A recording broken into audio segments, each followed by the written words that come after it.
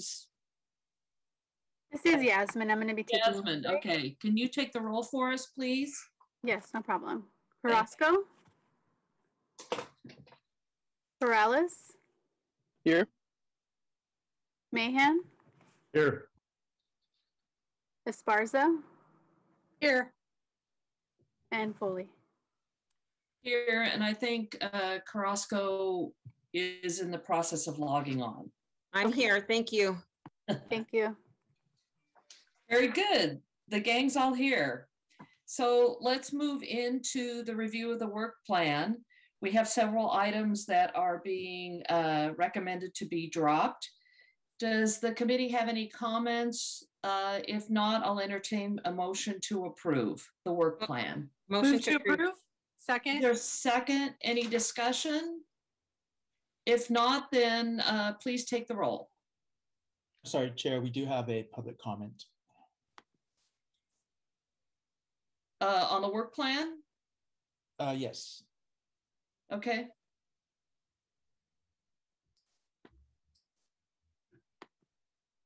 Hi. No. Hello. Happy uh, new week. Uh, end of April. Happy end of April. Blair Beekman here. Uh, I wanted to speak on the soft uh, story retrofit work plan. Um, I, boy, I'm learning really hard a lot to try to speak in very formal terms that, you know, as, as yourselves as city government and many governments around the Bay Area have been doing recently, you know, how are we preparing? How are we preparing for the next, uh, you know, few years and next five to 10 years for a possible earthquake in uh, the Bay Area? Um, I think this, this retrofitting idea work is really important. And it's things that Jackie Morales five, six years ago was talking about as ways to develop a, a real community harmony and ways that can actually give uh, a lot of breaks to tenants uh, of apartment buildings and at the same time give breaks to the apartment owners and create a really interesting system and way of working that uh, can really help all sides of, of apartment issues and attendance issues. And, um, you know, we're dealing with these issues now. We, it's very quite possibly, we're possibly going to have an earthquake in the next few years. That's what I'm learning and understanding. I don't want to be speaking these words in kind of a, uh, you know, over sensationalized way. I want it to be very uh, formal as, as we try to do these things. And I don't want it to be uh, politicized. I don't want it to be used as a political football at all. I'm simply trying to state the facts of what I'm learning and how we can learn how to talk about this subject openly and prepare together. And so we, we're not caught by surprise. And um, thanks for your patience and myself trying to learn how to do this during public comment time. And I just want to do a uh, respectful job at uh, at describing what we're what we're going to be going through as as the entire Bay Area in the next few years.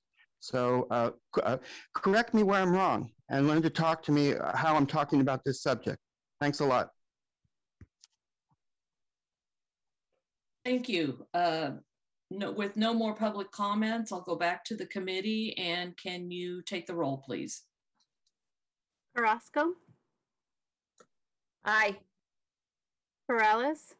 Aye. Mahan? Aye. Esparza? Yes. And Foley? Aye. Thank you.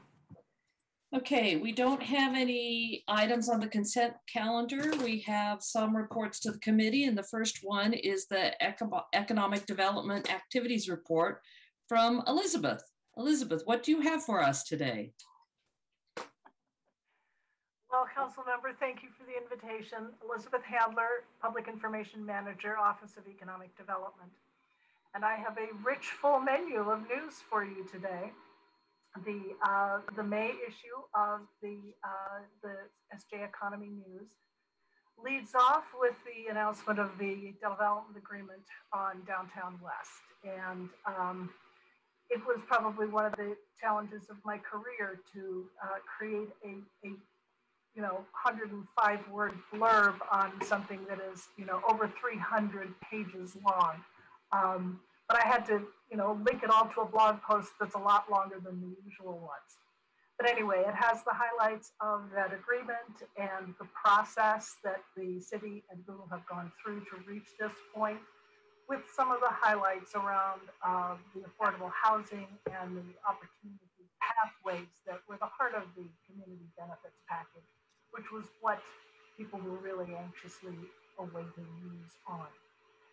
And um, at the same time, we also got uh, the news that the EDA, the federal government's economic development authority, had presented the city with, or we had applied for and had been given a grant of $1.7 million for economic recovery that is more for capacity building than direct help to the community um, but it's going to enable us to do contracts with a lot of different community-based organizations and the organizations that we call technical service or technical assistance providers. These are organizations like um, Anew America, they're like um, Silicon Valley SCORE, they're the folks who are part of our uh, business owner space partnerships that can help individual businesses apply for grants, apply for loans, analyze their tax situation, help with free legal services, and so on. So that's that's what we're going to be doing, as well as um, helping to uh, accelerate some of Manufacture San Jose's manufacturer and workforce development programs, and working with the Downtown Association as kind of a mentor to other uh, smaller and other um, business associations that are kind of on on the on the grow. So that's a very exciting project that's going to be uh, going on for a couple of years now. We've also been busily doing our webinars, and we're excited to be able to say that more than 2,000 people attended since just since January 1, the webinars that we've been holding on a weekly basis.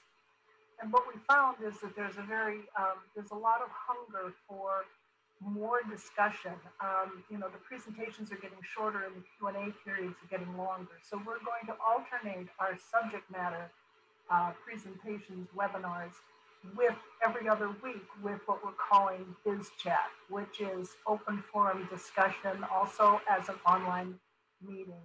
Um, we held our first one last week, and um, even though it was only 20 people, it was really representative of the kinds of businesses that we want to be working with. And we're excited about that. Now we're just trying to figure out how to do them in Spanish and Vietnamese as well. So the, the the trek continues. We're, we're turning into quite the webinar production company. Um, I skipped one here, sorry. Um, no, I didn't. This, the, the various subjects that we've been doing our webinars on include uh, the American Rescue Plan, what's the Biden plan going to mean for small businesses, rebuilding business, how to make customers and employees feel comfortable coming into your business, um, SBA grants for performance venues, the shuttered venues operators grants, um, an update on the on the American Rescue Plan, California Relief Fund opening its fifth round of applications. So that's the kind of um, subjective, subjective content that we've been sharing with the business audiences. Um, we all know we went back to the orange tier uh, with, with great relief. So we did a, a pretty comprehensive communications round with the help of EPIO around getting back to the orange tier. And then we were happy to be able to kind of have a, a little sense of normalcy with the 408 Creates um, April is Creativity Month, which our Office of Cultural Affairs launched with their cultural ambassadors and um, an engaging program of things that people can do in their ordinary lives that um, bring out their creativity and kind of spark um, their their artistic side. So that was it's still going on in April, so you can still jump on that website and um, participate, get into some of those activities, whether it's dancing or photography or pottery or cooking or singing or whatever is whatever strikes your fancy. And that's our report for this month. Are there any questions? Wonderful, thank you. Let's go to the members of the public. Do we have anybody who's raised their hands? From the public. Mr. Beekman.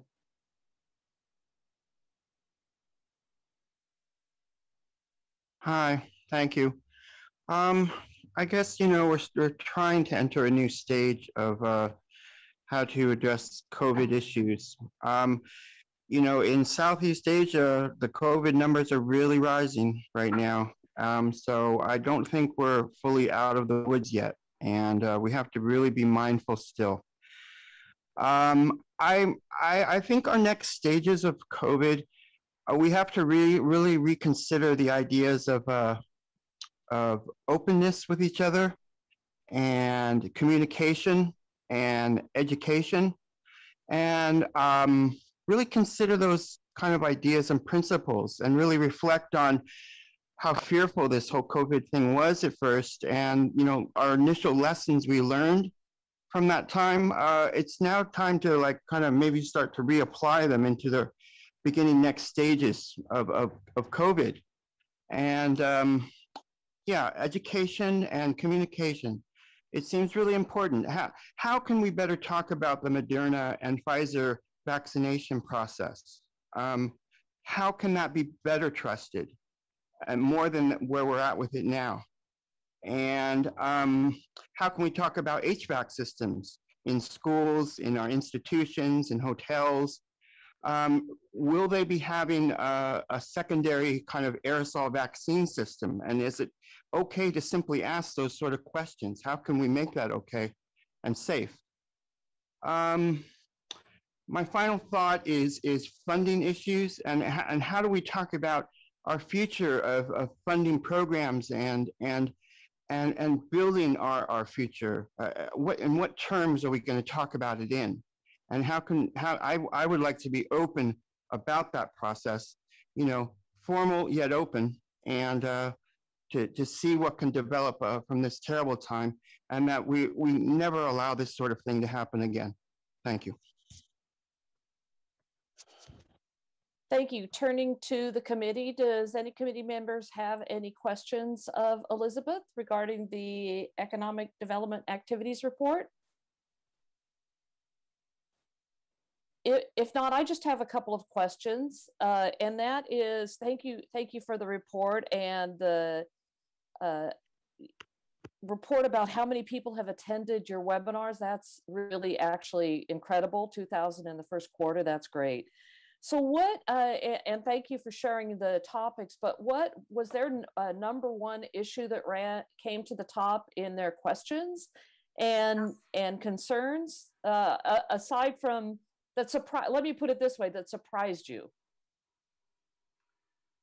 Um, it didn't surprise us, but the number one question by probably a factor of five over the next most interesting is access to funds. They're, they're very, very concerned about getting financial help, financial support, hard cash money in hand to meet their bills and to be able to even just keep their businesses alive, let alone thriving. That really is the most important issue. Um, I would say the next one is probably help with addiction issues it's a big deal for the commercial desk, uh, sector as well as for the residential sector. And um, the advice that we have found is the most effective right now is get get in touch with your landlord early. Don't wait to reach out to your landlord until he starts to talk to you about rent not being paid or issues of eviction. So um, and having being able to have the Law Foundation as a source of free legal advice has been super helpful to us. Okay. But money is the number one. Good. Okay, that's uh, uh, I assumed it was, but wondered if there was anything else that was jumping out to the the small business owners. Uh, seeing no questions from uh, the committee, is there a motion to approve to accept the report?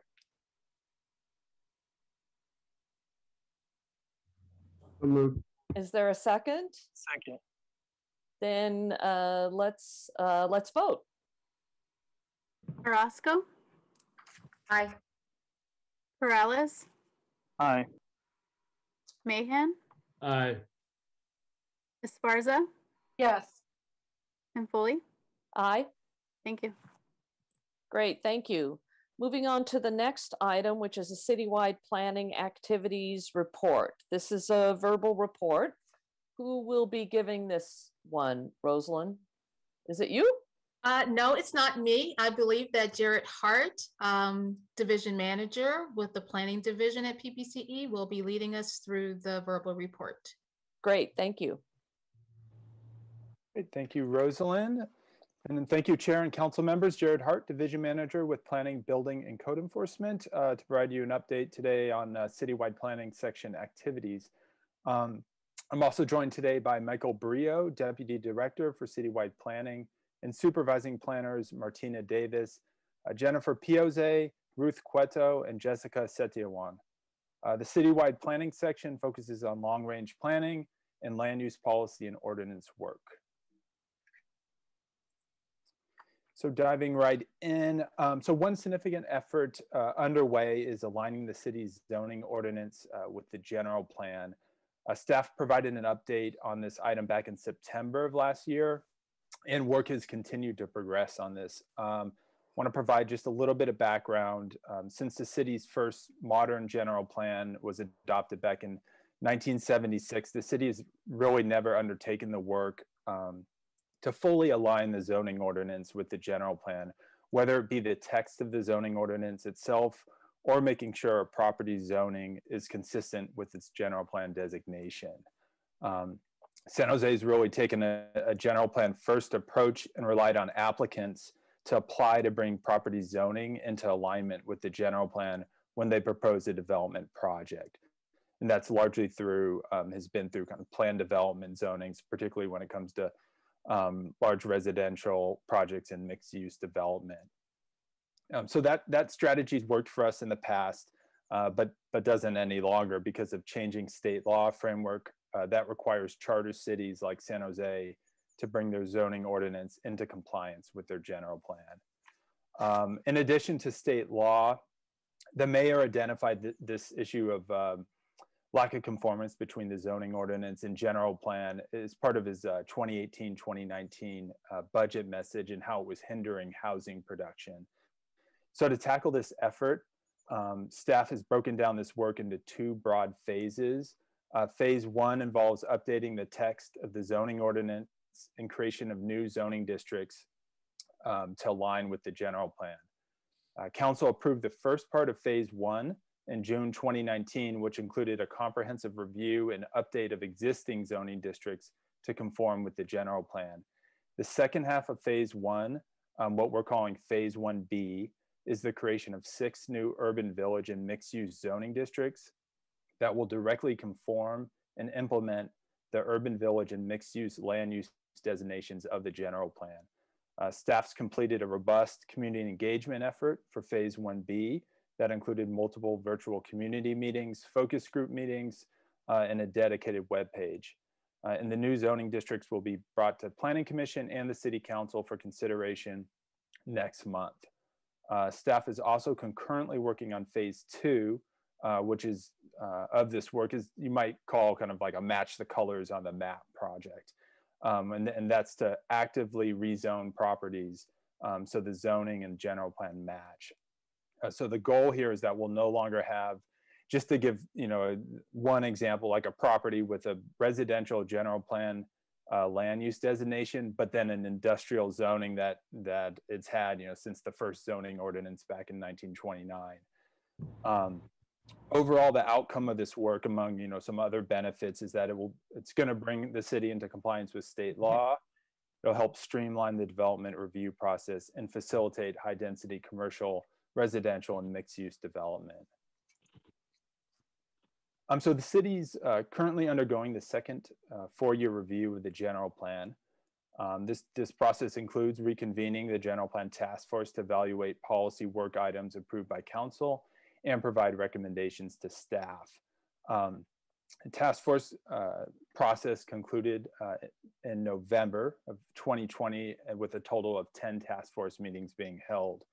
A handful of uh, follow-up actions are being undertaken prior to bringing uh, the policy work to council, some of which were requested of staff by the task force.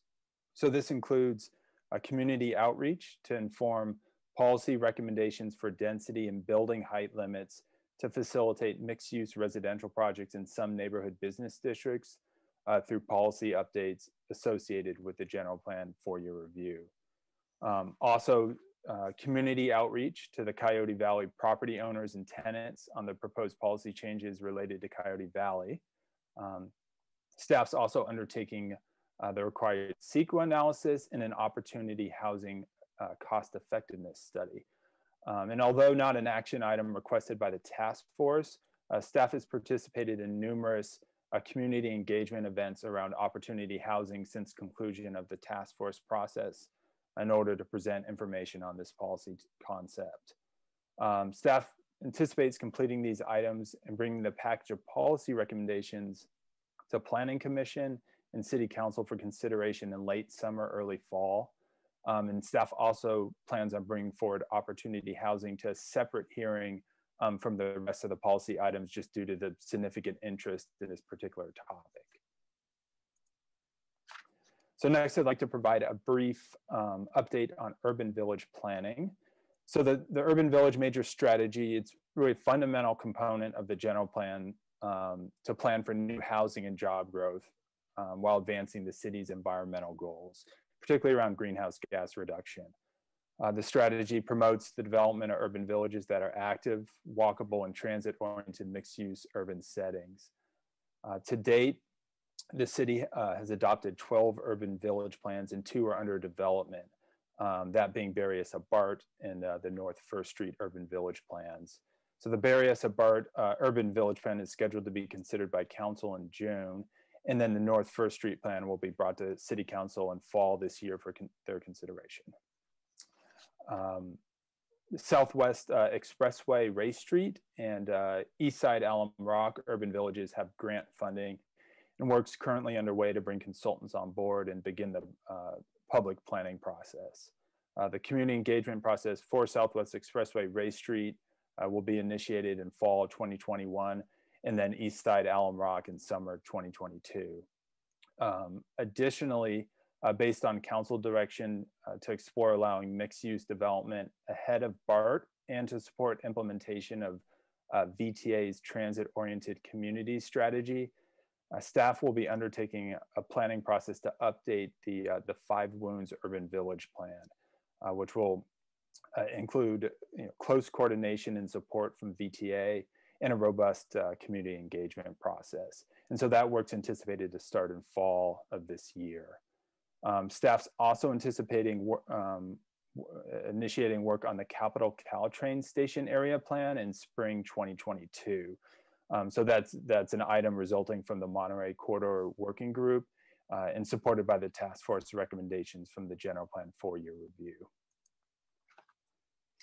Um, so you know one one clear message that that um, we received from the general plan four-year review task force um, was that staff should continue to prioritize urban village planning um, and development of, of new area plans.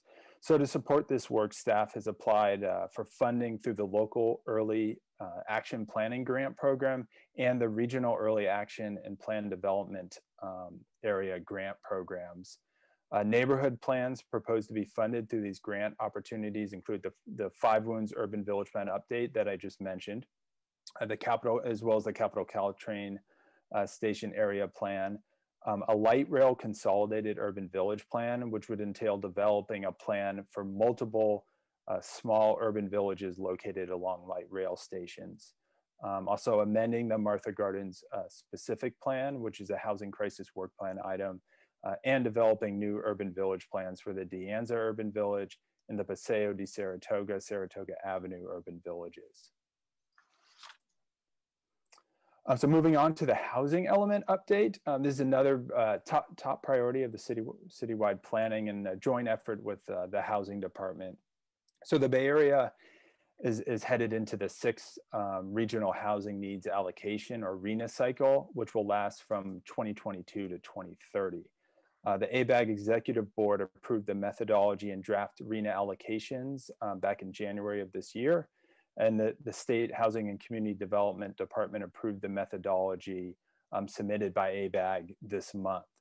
Um, San Jose has been allocated uh, 62,202 units for the sixth RHNA cycle. uh, which is a, a 90% increase from the fifth cycle, but less of a proportional increase uh, than the allocations of our neighboring cities in Santa Clara County.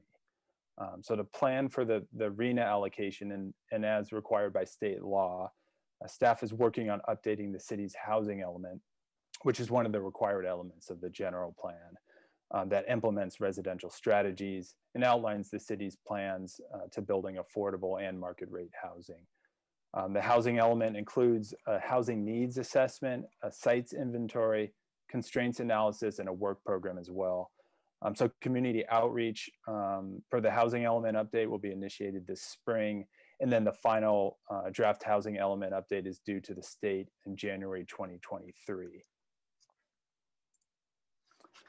Um, so some just a couple other uh, citywide planning activities to note uh, today is that um, uh, one of them includes a joint effort between uh, planning and the Department of Transportation and supported by the, the American Cities Climate Challenge grant, uh, which is to comprehensively evaluate and update the city's uh, parking requirements to facilitate and lower the cost of housing um, and support the general plan and Climate Smart San Jose's goals uh, to lower vehicle miles traveled and reduce greenhouse gas emissions.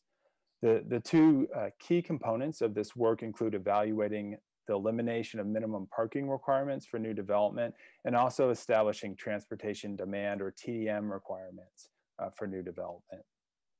Community engagement for this uh, policy work is really kicking off uh, this spring and then ordinance updates are anticipated to be considered uh, by council in fall uh, 2021.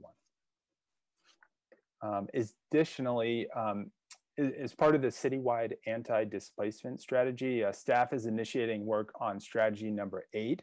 This is known as uh, Yes in God's Backyard, um, which would explore amendments to the general plan and zoning ordinance to allow deed restricted affordable housing under the public quasi-public general plan land use designation when the affordable housing is developed is a secondary use in conjunction with the primary assembly use of the property.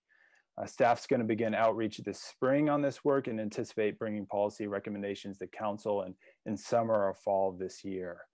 Um, related to this work and is directed by city council, uh, staff has also started work on policy changes that would allow school districts uh, to convert land designated public quasi-public um, that could provide opportunities for affordable housing and generation of revenue for school districts.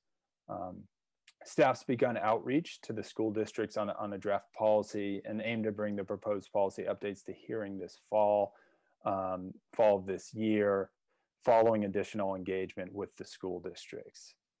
And with that, that uh, concludes staff's um, presentation today. Thank you. Great. Thank you very much for the report. Very, very detailed. Uh, turning to the members of the public, we are on the citywide planning activities, so I ask that you keep your comments focused to that item. The gentleman with the last four numbers, 5140, Mr. Sensini, you may speak. Welcome. Yeah, I'm just wondering where the unicorns and the rainbows are going to be for these projects, you know, because the electricity isn't going to be there, the water, well, there won't be any natural gas because it's not allowed anymore. What do you think all these people they're gonna they're gonna all take mass transit? You're gonna limit the parking. Any any kind of new urban village has everyone's talking about this. How every time there's something new, there's no parking, or like you have these cramped parking spaces that can barely fit a, a, a compact car. But once again, you don't have the utilities, you don't have the police force or fire. I mean, they can't solve crimes or even come out to a fire or or a police call. It takes them an hour if they show up at all. And I want to know with all this construction, what kind of silica is going to be in the air? What kind of pollution are you going to have when you're doing all these construction projects at one time? It's going to be very, very bad. I used to live overseas there was construction projects all the time, and I mean the the, the uh, air quality was terrible. And you really think that people are going to use county transit? They don't use it now. The light rail, it's a disaster. It's a disaster in Basel, Switzerland, where it's originally from. The whole system and the the, the cars that they use or the, the light rail they use, it's terrible. And you really think that limiting parking is going to solve all these problems? and cram everybody uh, into these buildings and these stupid villages. You guys are crazy. Look at what's happening with COVID. We're supposed to be like social distancing and everything. Pandemics start when people all live together. That's why they're having so much problems in India and Europe where people live close together. And you want to recreate that? It's not going to work. And once Caltrain comes into capital, what's it going to cost to go to San Francisco? $50 round trip or more? It's not going to be economically sustainable. It's gonna it's gonna look like Venezuela here if we're not careful. Matter of fact, if you guys want that, just start building in the hillsides Thank with you. urban village. Uh, next is Mr. Beekman.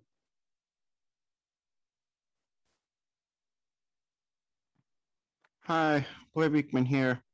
Um, I know our modern uh, thinking towards urban villages, uh, you know, it's been a bit uh, s- protected, I guess. Um, I, I hope I hope as as you're you know worked hard to build the urban village ideas that you are considering the new ideas of ELI and VLI and mixed income that can be a part of the urban village experience. And I hope I'm I'm not sure where you're at with that, but I, I don't think it's too looked on too favorably at this time. But I, I hope it is, and I hope it can be.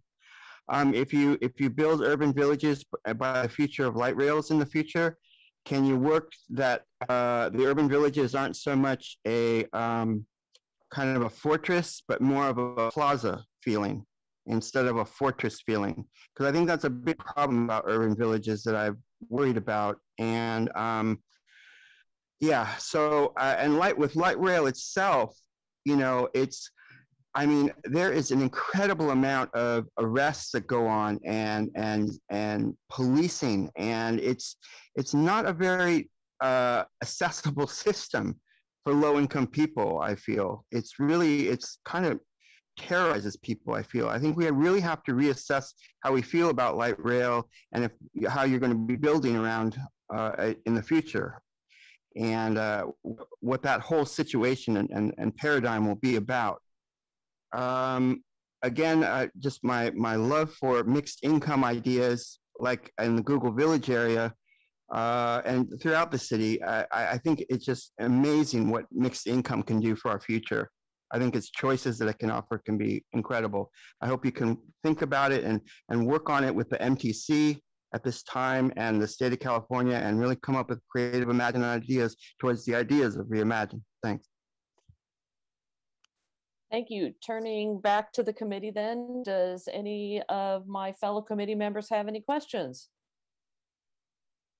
If not, I just want to affirm a couple of points that you made, Jared, and that is that the general plan task force recommendations will come in two parts, that the opportunity housing will come at a separate time. Is that correct? That's correct. Yeah, given the just the kind of the meaty policy items we have with the the four year review um, and the amount of interest there's been in opportunity housing, we felt it was best to separate them. You know, they'll come under the general same general plan hearing cycle, but it, uh, come to two different meetings.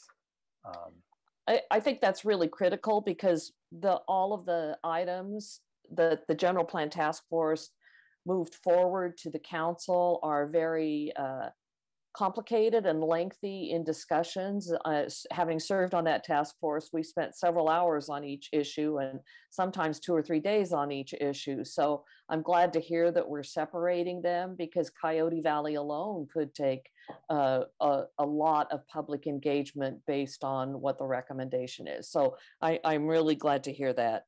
That was actually all that I had to to offer. Does is anyone on the committee wish to make a, a motion to accept the report? Move to accept the report? Is there a second? Second, Okay, great. Then let's vote. Orozco, Aye. Peralez, Aye. Mahan, aye. Esparza, Yes. and Foley. Aye. Thank you. Okay, moving to the next item, which will I, I expect will have some dis- uh, more discussion than we've had on the other two items, and that is council priority, policy priority number seven, review of cannabis land use and regulatory provisions. We have a status report update, which I'm so glad to see. Good afternoon. I'm Wendy Sollazzi, Division Manager from the Police Department's Division of Cannabis Regulation. With me today is Deputy Chief Dave Tyndall and Sergeant Dave Woolsey from the Police Department and from the Planning Division um, of the Planning Building Code Enforcement Department are Martina Davis and Alexander Hughes. And from the City Manager's Office is Peter Hamilton. So I'd like to say thank you to each of them for their assistance with this policy work. So today we're here to talk about City Council Policy Priority Number Seven, Cannabis Land Use and Regulation. We'll be going over a brief overview of our current program, our draft policy proposal, online survey results, and business and community outreach that we've conducted. So on the next slide, we'll see a little bit of our current program. And just as a reminder, at one point, San Jose had as many as 120 illegal medical marijuana dispensaries. And then in 2014, City Council approved the medical marijuana program with the collective model, where collectives were required to be vertically integrated and 16 collectives made it through that registration process. And since then, Council has opened up registration for standalone cannabis businesses in the areas of manufacturing, distributing, and testing, and also approved a cannabis equity ordinance. So today we have 16 registered dispensaries that are allowed to sell both medical and non-medical cannabis. They're allowed to have one retail location that's open to the public they may also deliver to customers and they can have two sites for cultivation and or manufacturing that are not open to the public. However, I will note that only two have opened a separate cultivation site. Next, we'll see, um, just as a reminder, in 2010, San Jose voters approved a measure which allowed the city to tax all cannabis activities at a rate of up to 10% of gross receipts. The current retail tax rate is 10%. And in June of 2019, City Council adopted an ordinance to update the tax rates for cultivation to 4%, manufacturing to 3%, testing to 0%, and distribution to 2%. So currently the majority of the city's cannabis business tax comes from retail storefront and delivery gross receipts. The city manager's budget office and the finance department are forecasting $17 million in tax receipts this fiscal year. So our recommendation to allow, um, sorry, Alex, next slide, please. Um, our recommendation would be to allow new retail storefront registrations and relocations in retail zoning districts instead of industrial zoning districts where they're required to um, be located now. We recommend maintaining a thousand feet from libraries, parks, schools, and increasing the distance distances between retail storefront dispensaries from the current 50 feet to 1,000 feet. We're also proposing to prohibit new cannabis retail storefronts from opening in police beats with crime reports 20% above the average number of reported crimes. Retail non-storefront, uh, more commonly referred to as delivery only businesses, would be allowed in industrial areas similar to cannabis distribution businesses with 600 feet from schools, child daycare, community recreational facilities, parks, libraries, and 150 feet from residential. On the next slide, we'll show you that um, we are uh, recommending to allow the existing 16 businesses to register for second retail locations and then allow uh, five new equity businesses um, to open in San Jose. And then, um, and then with the next slide, we'll kind of go over some of the eligible sites. All right, I'll take over from here. So uh, just one other criteria I think, Wendy, you didn't mention was we are proposing 150 feet from residential to the retail storefronts as well, um, which is the current distance requirement uh, in, our, in our code. So we're proposing to maintain that. Um, so we've been spending a lot of time doing some uh, mapping to kind of figure out where using these draft criteria uh, we would have eligible locations. And so you'll see this map, obviously at this level, you're not gonna be able to really see much. It is on our website. We have an interactive map. So if you go to the city's website and search cannabis business ordinance, um, you can also get to it on planning's website on the left nav. You would click on ordinances and then proposed ordinance updates. And we have a page on the cannabis ordinance that has this. Um, so we found that under today's zoning, we found approximately 120 eligible sites that could qualify. Um, so this doesn't necessarily mean they're available or vacant or suited for um, this type of business. This is just simply using those the zoning and the distance criteria um, that we are proposing. Uh, I, you see on there 60 additional sites if rezoned. Um, what that means, and the, actually based on some analysis we were just doing, it looks like it's a little bit more. Uh, as Jared mentioned, we are undergoing a process to align the zoning and the general plan.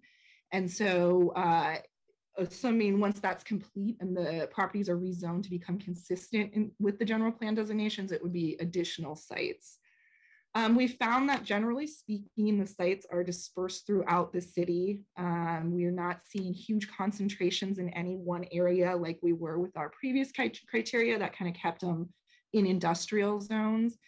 And then, you know, the biggest limiting factor that takes it down from thousands and thousands of potential sites really to, to just that 120 we're seeing is, is predominantly the distance to residential. So we're proposing 150 feet property line to property line at this time, um, which knocks out honestly most of the city. So we're going to be looking at that and seeing if that maybe there's a different way to um, parse that out, uh, maybe a different way to measure it. Maybe it would be building an envelope to the residential property line or something like that. So that's something we're still looking at. Do you want to go to the next slide, Alex, please? So we ran an online survey. Um, it was from April 3rd to, uh, excuse me, March 3rd to April 9th. And we got approximately 100 and, excuse me, 950 responses. We offered the survey in English, Spanish, Vietnamese, and simplified Chinese. Um, I will mention that the survey was not a true scientific survey. It, it, so we can't extrapolate this data out to say this is how the citizens of San Jose feel. Um, more generally, this is really just how the people who filled out the survey feel, but it's still a very, very good uh, data source for us. So we generally speaking ask people to rank kind of how they felt cannabis retail businesses were appropriate or not appropriate in various scenarios that often occur in commercial areas. Um, and so we didn't see anything stick out tremendously so. I mean, nothing was like 90% one way or the other, but you do see a couple uh, things that stick out a little bit. Um, for example, we're seeing a fairly high level of opposition to malls, um, to corner stores in neighborhoods, not super unexpected. We're just kind of curious how people felt about that. Um, we're seeing uh, kind of higher opposition to mixed use developments with uh, residential above and then interestingly enough, probably where we see the, the highest uh, positive responses sticking out would be uh, near another dispensary, which we uh, were checking to see if people had concerns about them near, being near each other. And, and that seems to be, generally speaking, either neutral or in favor of that. And then strip malls um, which was very interesting to us because strip malls tend to be smaller and tend to be very close to residential properties. A lot of times, strip malls have a residential behind it, directly behind it. So uh, that was kind of interesting uh, to, to look at that and think about our residential interface, um, what we're proposing. Next slide, please, Alex. And so uh, the other thing we asked, of course, we're looking at delivery only businesses, introducing that into the code. So we asked um, folks, you know, if they had any thoughts on that one. Uh, similarly, we found that near other delivery only businesses or near other actual retail dispensaries would be appropriate. And then again, kind of strip malls came out as the highest on that one downtown as well. Um, and next one. So we asked also people how, how far away should uh, cannabis retail stores be from residential uses? And we did try to contextualize that, you know, one house, three houses, et cetera. Um, so despite kind of saying I like strip malls, which tend to be right next to residential, we also got a result of more than 300 feet away was the definitely preferred response on that question. So again, it's making us look at, you know, maybe it's a path of travel, maybe it's a site distance, um, we may be looking at other stuff there, just trying to think through and digest these results. Um, yeah, next slide. And then finally, the big question is should San Jose increase the number of dispensaries? Well, people who filled out the survey are fairly split. Um, it came out to 52% no, and then it was about 46% said yes, San Jose should increase the number of retail storefronts. So definitely not as strong. Um, yes or no, either way. And then a handful of people did skip that question. And that's it. I'll turn it back over to Wendy. Okay, and here we wanted to show you a little bit of um, some of our outreach that we did. Uh, we held one meeting with our registered businesses and another meeting uh, with the community. And um, part of the feedback that we received from the businesses is that um, they wanted a second retail location where our recommendation would be to have them re relocate their retail portion of their business to the new uh, zoning districts rather than allowing them a second location. Um, other things that they said they wanted the ability to open that second location again. They're still hopeful they get to um, in advance of allowing any new businesses to apply for registration. Uh, they support retail zoning as an option going forward, and some even mentioned the desire to see urban villages, village zones added. They mentioned San, uh, wanting San Jose to modify its buffers to mirror those of the state. Specifically, they wanted us to reduce our thousand foot buffer to 600 feet from libraries, parks, communities, and uh, community centers and schools. Again, they also like us to match the state and remove our buffer from residential use um, or to modify it to the 150 feet from residential use to path of travel, not property line to property line um, as Martina already covered that we're looking into that. Uh, they also supported allowing new equity business uh, businesses. However, they raised a concern that San Jose may experience what they said other California equity programs have, may have seen. The concern is that big business non-equity owners are financially backing and using equity applicants to get retail locations opened in cannabis business friendly cities then those non-equity business owners buy out the equity applicants once the approval process has been completed, thus negating the goal to see equity business owners thriving in San Jose. And then also according to industry feedback, this um, buyout issue has been experienced less in delivery only businesses. So therefore they requested uh, the city uh, only allow equity businesses to open retail non-storefront or delivery only uh, locations a request was made for the ability to manufacture cannabis products under state um, type 7 manufacturing license using volatile solvents. And then there was a concern brought up over uh, CEQA clearance, um, but the state is looking to extend provisional license timing since many cities in California, uh, like San Jose, also do not require site specific CEQA clearance for businesses to operate in their cities, meaning that the state will need to complete the CEQA review. Uh, a concern was brought up um, about how the city calculates its annual operating fee and to uh, reevaluate and calculate based on other methods such as retail versus non-retail businesses or based on business activity level. So staff will um, look at evaluating the fee calculation method in coordination with the city manager's budget office um, uh, through that typical, that annual process. and then many businesses stated their desire for San Jose to lower its cannabis retail tax. They say that San Jose's 10% cannabis retail tax is one of the highest in the state. And then um, at our community outreach uh, meeting, uh, some of the feedback was just they wanted to understand what was meant by sensitive use setbacks. Uh, they reminded us that cannabis was federally illegal they liked the distances between businesses, but the business dispersion and residential setbacks may need to be different for downtown. Uh, they wanted to understand a little bit more about the purpose of the equity program. And then uh, someone mentioned wanting us to consider a social consumption option. And uh, we reminded them that that hasn't risen to the um, council priority uh, list yet, um, but we will evaluate that if directed. And then we, uh, they wanted to know what the tax rates are and what the tax is used for. And they were curious about the next steps for our policy approval. And um, basically, so you're aware also, we are uh, looking to do, uh, conduct a CEQA study again. Uh, Martina had already mentioned that.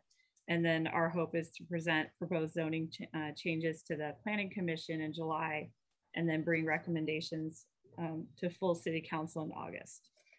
So with that, uh, this. Let me just jump in really quickly. One other thing that I think was very, very telling about our community meeting is that almost no one came. Um, we only had 12 attendees at the community meeting, and I will just share for context, you know, my team does, this is not the only zoning ordinance update community meeting we've held uh, since COVID times, and we've actually been seeing, generally speaking, higher attendance at our other meetings for topics that may seem even like drier than this. So, uh, you know, to, to us in planning, I think that said a lot that this doesn't appear to be a hugely controversial issue um, because, you know, people have had no issues attending our meetings. We advertise this very heavily and just um, we felt that the, the lack of attendance was kind of telling us in itself that maybe people aren't feeling tre- tremendously passionately, at least not passionately enough to log into a Zoom meeting to um, talk to us in person about it. So I just wanted to share that.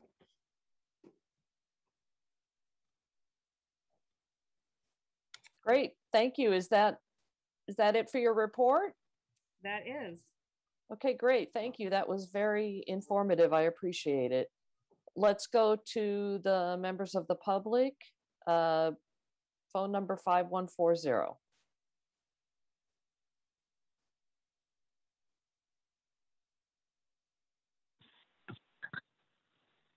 SJPD, what does that stand for? San Jose Pot Dealers. You guys are pot dealers now, man. Years ago, you were busting people with a little joint, stitching them up for who knows how much time in jail and fines, and now you guys are selling it. Should be ashamed of yourself. Who's down there today? McTindall and McRandall? Who's down there? One of you guys makes six hundred thousand dollars a year. We're, you know, you guys are going to need this tax to be able to support your high salaries to do all these things. And uh, a lot of these permits were taken away from people after they paid for them. Then all of a sudden, out of the blue, the city council votes to uh, limit it down. So the you know the, the city and the police department, or the uh, the pot dealers, not the police, the pot dealer, not a not a police department anymore, was able to take all that money for permits and then close everybody down real easy. They probably took all their marijuana too. As for the taxes, you guys are getting into usury and gold bricking uh, for these things. You're going to wonder why you don't have uh, uh, any money because people are just going to go back to Joe the Pot Man in the Santa Cruz Mountains. You know, it's going to be too expensive, which is going to be funny. You won't be getting the revenues that you think. I know Peralez thinks that uh, they should be getting more. The, the teacher and the policeman who wants legalized marijuana. This this is great. What a what a what a classy city council we have. But yes, SJ uh, pot to pot dealers. You guys are you guys are real. Cla- you guys are keeping it real classy. Wanting to have more retail operations and everything. What you need to do is have all the pot shops and the pool halls and the tattoo parlors and the massage parlors. Keep them all in one area. We can like have a red light district like Amsterdam. Maybe legalize prostitution too. I mean, while you're at it, why not? I mean, because anything goes, right? As long as people pay the money for taxes and, and fees and, and permits and all these things, you guys are you guys are turning into an Amsterdam. I mean, get Thank it you, over. that's it. Thank you. Mr. Jane, Hirsch Jane. Hey, council members. Um, thank you for the opportunity to speak today. Uh, my name is Hirsch Jane, and I'm here representing Caliva, one of the uh, existing 16 retailers uh, in the city. And just wanted to share a, few thoughts. Uh, the first is, you know, we're really encouraged that the city is considering allowing the 16 retailers to relocate. You know, we've enjoyed being part of the District 7 community for the past six years, along with other retailers, but we think cannabis retail should be more evenly distributed throughout the city. and I'll also just say that I think you know the the rezoning has the potential to really improve the city's cannabis market. Um, I noticed earlier on the presentation that the tax receipts in the city continue to increase year after year, and you know we think that relocating would further boost the city's tax receipts at a time when obviously the city is you know still recovering from the the impacts of the coronavirus pandemic. And as many of you are likely aware, there are other cities in the Bay Area like Redwood City and Union City that is now allowing cannabis retail um, in normal retail zones. I know that Union City, for example, is allowing cannabis retail now in its Union Landing shopping center. So um, we think this will help San Jose remain a leader in, in California's cannabis economy. And you know, also the foot traffic that you know these cannabis retailers would draw to neighboring businesses um, would also be beneficial to those businesses. Um, I, I, did want to say though that if you know the expanded zoning is to be impactful, the city really ought to take a look at rev revising its sensitive use restrictions to align with the state. You know, we were looking earlier at the number of properties that would be eligible under a rezoning, um, but obviously many of those properties won't be available. So I would hope that the city takes a look and and can determine that the state sensitive use restrictions are sufficient. Uh, the, the final thing I'll, I'll note is that I know the city is considering issuing second licenses that's something that, that we would support. Again, you know, if, if you take Long Beach, for example, which has half San Jose's population, it has 32 retailers. San Francisco, which has less than San Jose's population, has about 40. So we think the city can support second licenses and that the best folks to hold those licenses are the operators that are already known to the city. Thank you so much. Thank you. Uh, next is Dan Giorgatos, and I apologize if I'm mispronouncing your name. Thank you. Hello, distinguished members of the Community and Economic Development Committee and City of San Jose staff. My name is Dan Georgiadis, Director and Chief Legal Officer with Purple Lotus. I'm also a proud San Jose resident. The City of San Jose's cannabis program has thus far been a successful balancing act, providing medicinal and adult use cannabis access to people while safeguarding and securing the San Jose community, also contributing to the local economic engine of the beautiful Santa Clara Valley. Purple Lotus supports the effort to have five equity applicants operate in the city. This effort is likely best accomplished through delivery only licenses. After a period of initial successful operations, the licenses may transition into a storefront. The delivery channel is growing, and any successful storefront operator must diversify their sales to channels that match this shift in demand. The City of San Jose will be setting up the equity applicants for success with this process. The delivery only launch also lessens build out requirements and allows a quicker launch for equity applicants. Relatedly, Purple Lotus also requests the current 16 operators be allowed to partner with an equity applicant or open a second retail location in San Jose. As for staff's recommendation to allow non-equity delivery only applicants in industrial areas, this is the quickest way to having pre-pandemic traffic back and also harm the quality of life for San Jose community. This will also harm the current 16 operators. Although Purple Lotus was forced into an industrial area by the city and has spent millions of dollars upgrading the building, we also support open zoning for cannabis. Finally, we request the ability for a Type 7 manufacturer's license. Now, on to the most important legal and policy issue that confronts the city's cannabis program. Mandatory site-specific CEQA clearance for its current operators in order to obtain a state annual license. In short, the CDFA has responded to Purple Lotus that San Jose currently has no pathway for CEQA compliance, effectively meaning that all current operators in San Jose will have to cease their at least their cannabis cultivation operations by the end of this year. In my opinion, this can be fixed by city manager uh, regulation that authorizes or mandates the planning division to conduct a discretionary site-specific review through Appendix G or other CEQA exemption uh, materials. And planning is the best lead agency here. Thank you. Thank you. Uh, next is uh, Michael.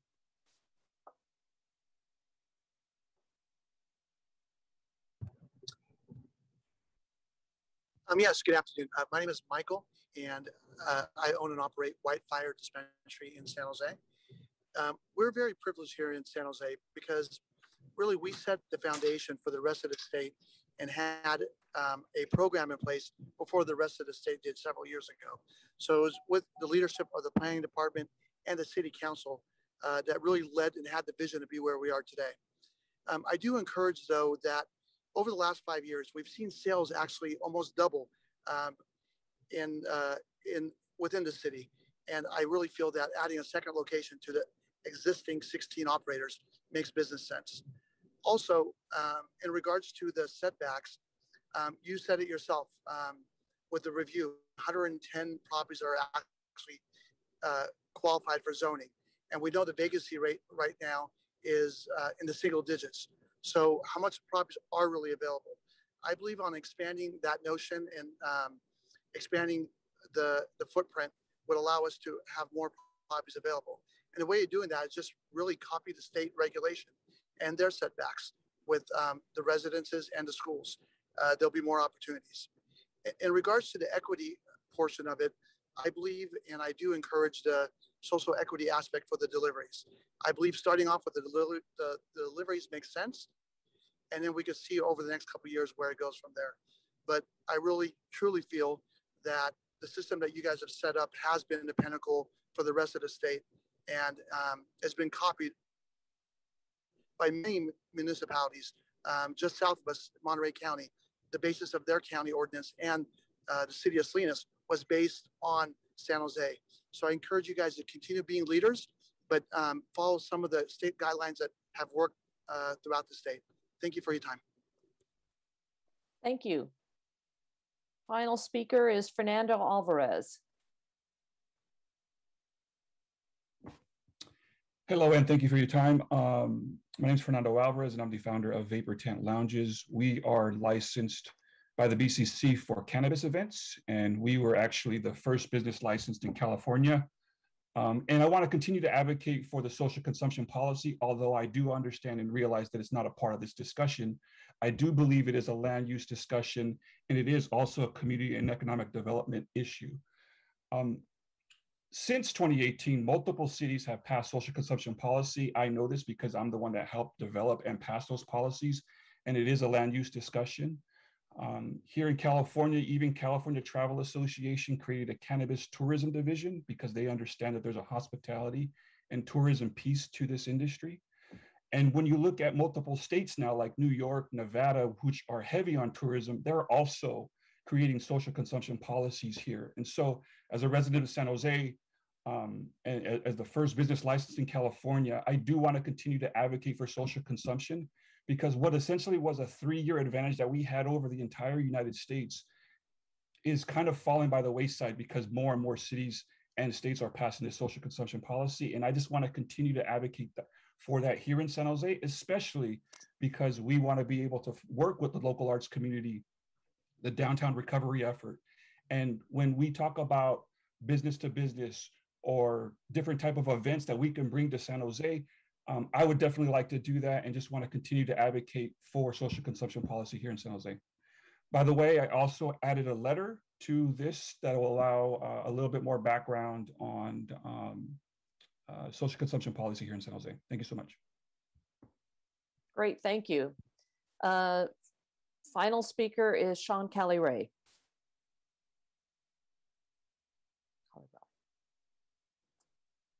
Good afternoon, Chair and members of the committee. Uh, Sean Kali-rai. Uh, I, I, represent a number of clients that have various opinions on this issue, but I, I just wanted to sort of highlight the success of San Jose's program, which you've heard many times has been, frankly, uh, the fact that we've had communication. Uh, being able to call Wendy on her cell phone or at the office or Dave Woolsey or interacting with Martina or, or even with Rosalynn is really the reason we have success in this industry is because we've had communication. And last year during COVID, uh, I mean, probably other than my wife, I was probably calling Wendy as often as I possibly could to get some daylight on what was happening with uh, essential and not essential. And so I just want to uh, say thank you to them and, and make you aware of, of how hard they work and that San Jose success is not just because we're lucky because people are working hard behind the scenes. Uh, but then second, uh, if you have any questions regarding any of these uh, items, I'm happy to take any questions uh, if you have them. So thank you all for your time and, and thank you also for speaking with me. Uh, I know I've reached out to a lot of your staff and also to you personally. So, so thank you all for engaging in the conversation. Great, thank you, Sean. Uh, someone may have questions for you, so I'm sure they'll ask if they if they do. Uh, turning back to the committee then, uh, Councilmember Esparza. Thank you. Um, so first, uh, thank you. I know that this is uh, a lot of work. It's been going on for a long time.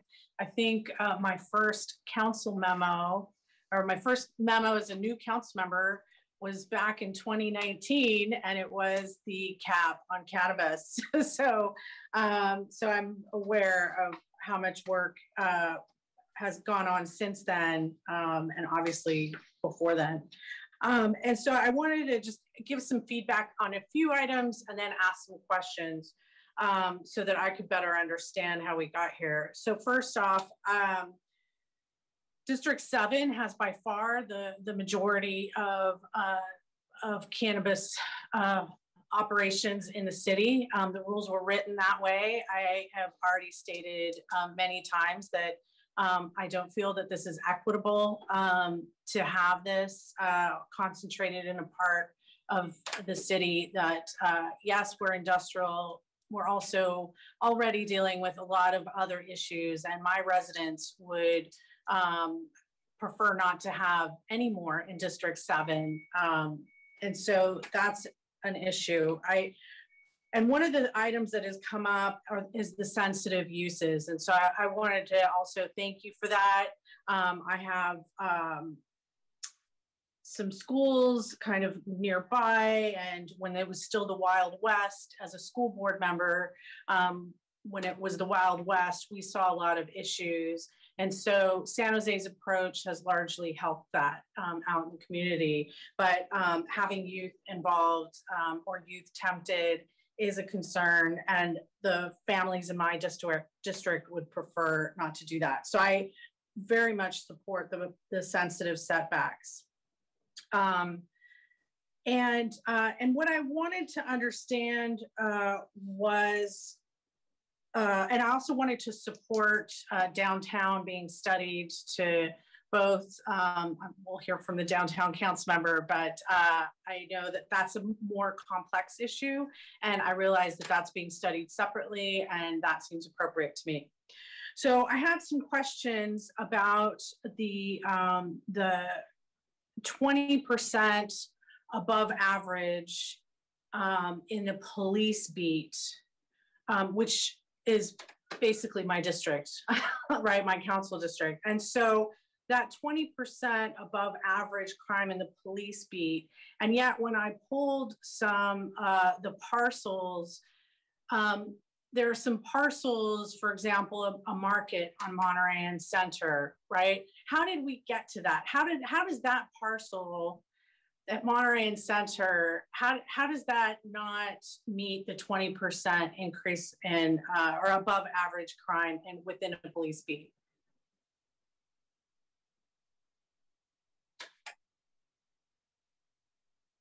So thank you for the, the question, Council Member. I'll take a stab at answering that portion of it. So in regards to the 20% portion of it, um, when we looked at these specific sites or when we pulled the numbers, uh, it was by police beat. So as you uh, are well aware, there's uh, obviously your council district, uh, but also from the policing standpoint, we have police districts, and then those are broken down into police beats, which in your district, uh, as you're well aware, District Lincoln is broken down into that specific area into six different beats. So when we look at that, that's going to look at the geographical area within those beats, and it's going to give us that number. Uh, and I'm not sure if Wendy has that or if planning has that as far as what the specific number was um, in that location. Uh, but that looks at the geographic area when it looks at the, when uh, when we look at essentially pulling those numbers. Now, what I would say, and certainly PD would commit to it, is if there's a specific parcel and a specific site around a proposed location, then we could certainly take a deeper dive into that specific location and really get down to into some micro numbers uh, around that area to see whether or not it would be number one from the zoning purposes, but also from the uh, PD public safety standpoint, a good loca- location um, for a uh, proposed plan.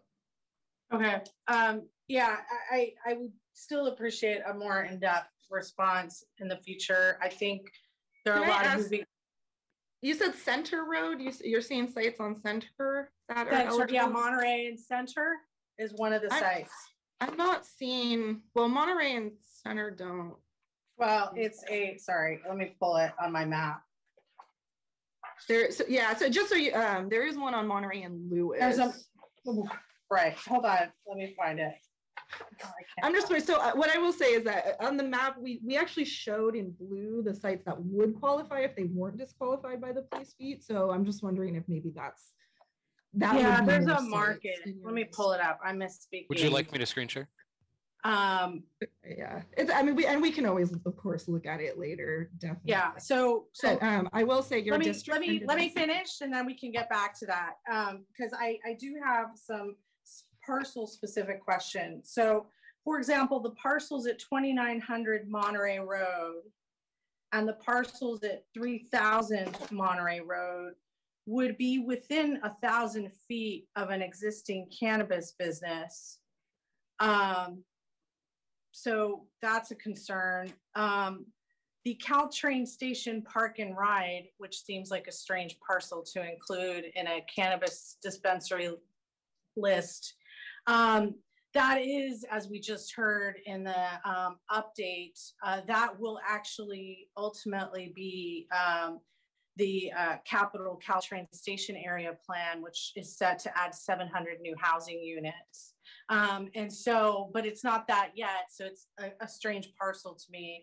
And then at 3060 Monterey Road, um, that's about 1,100 feet from Urban Leaf as well, and also about 1,100 feet from Dahl Elementary and approximately 160 feet from residential. So it's like just outside. Um, and that is that is not I, I, I'm that's I'm a little shocked because that is um, not below the 20% um, that we were just talking about um, in those areas. So that's that's one of my questions um, about some of those strange sites. Uh, let me pull up the other one.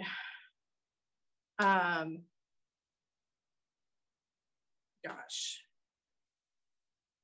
Okay.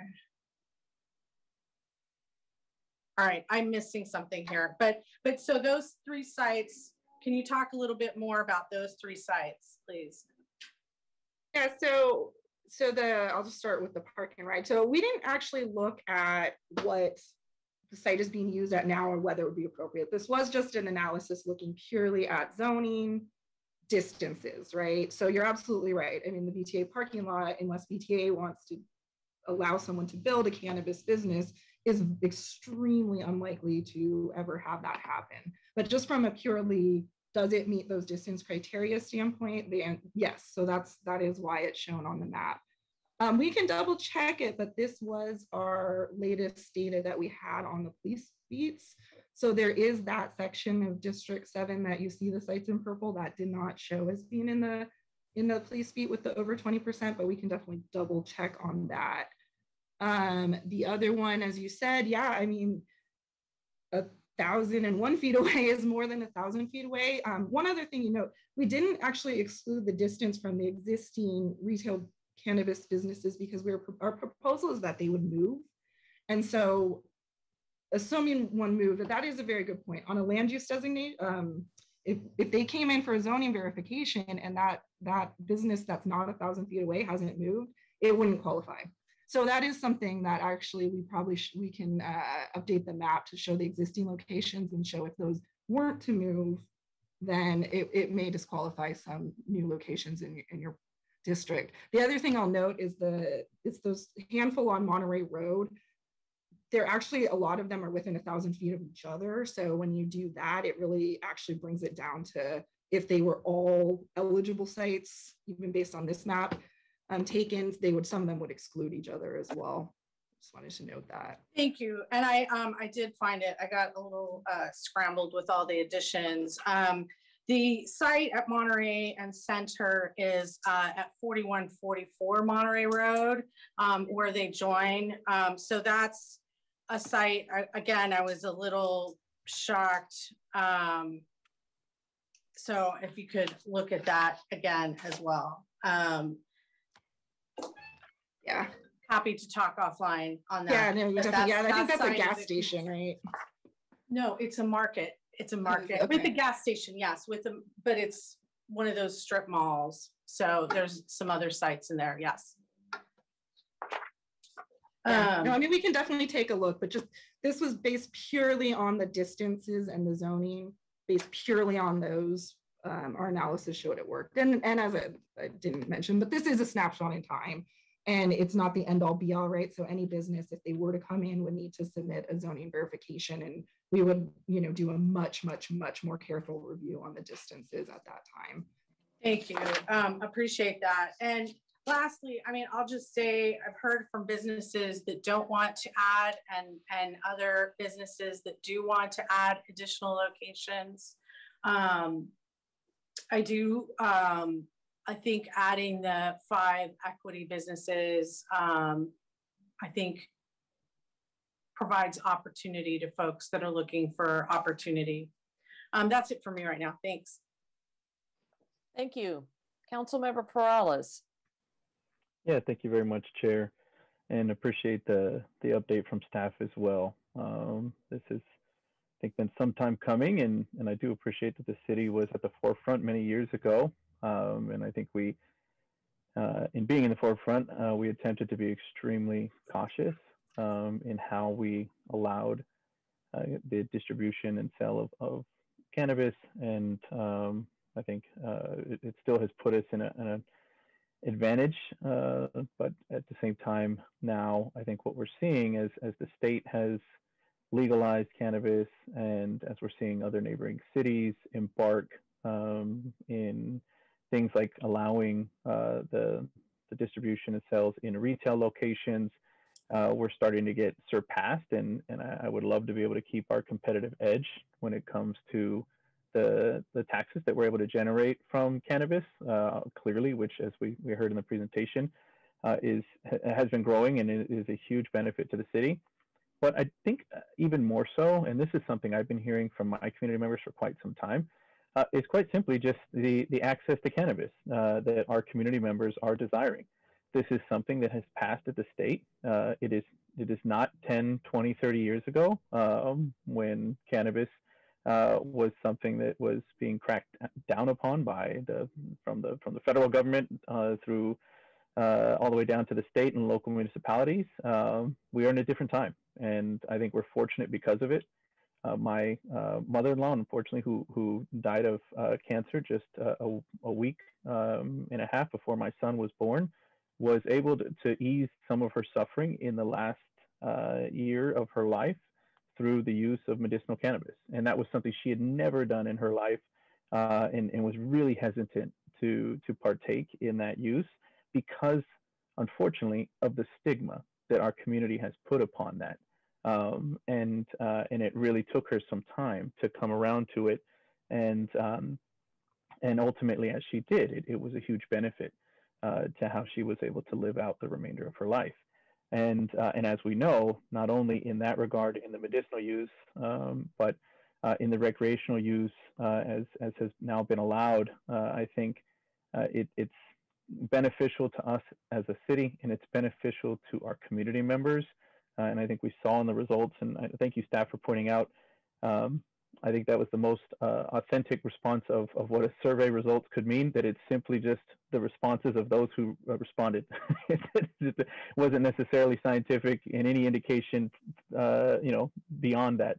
I would say even the best pollsters out there uh, that do scientific polls, um, at the end of the day, always, you know, provide disclaimers that say, you know, I mean, it, they may give you the best data possible, uh, but it still doesn't give you a true indication of what the overall community um, opinions are.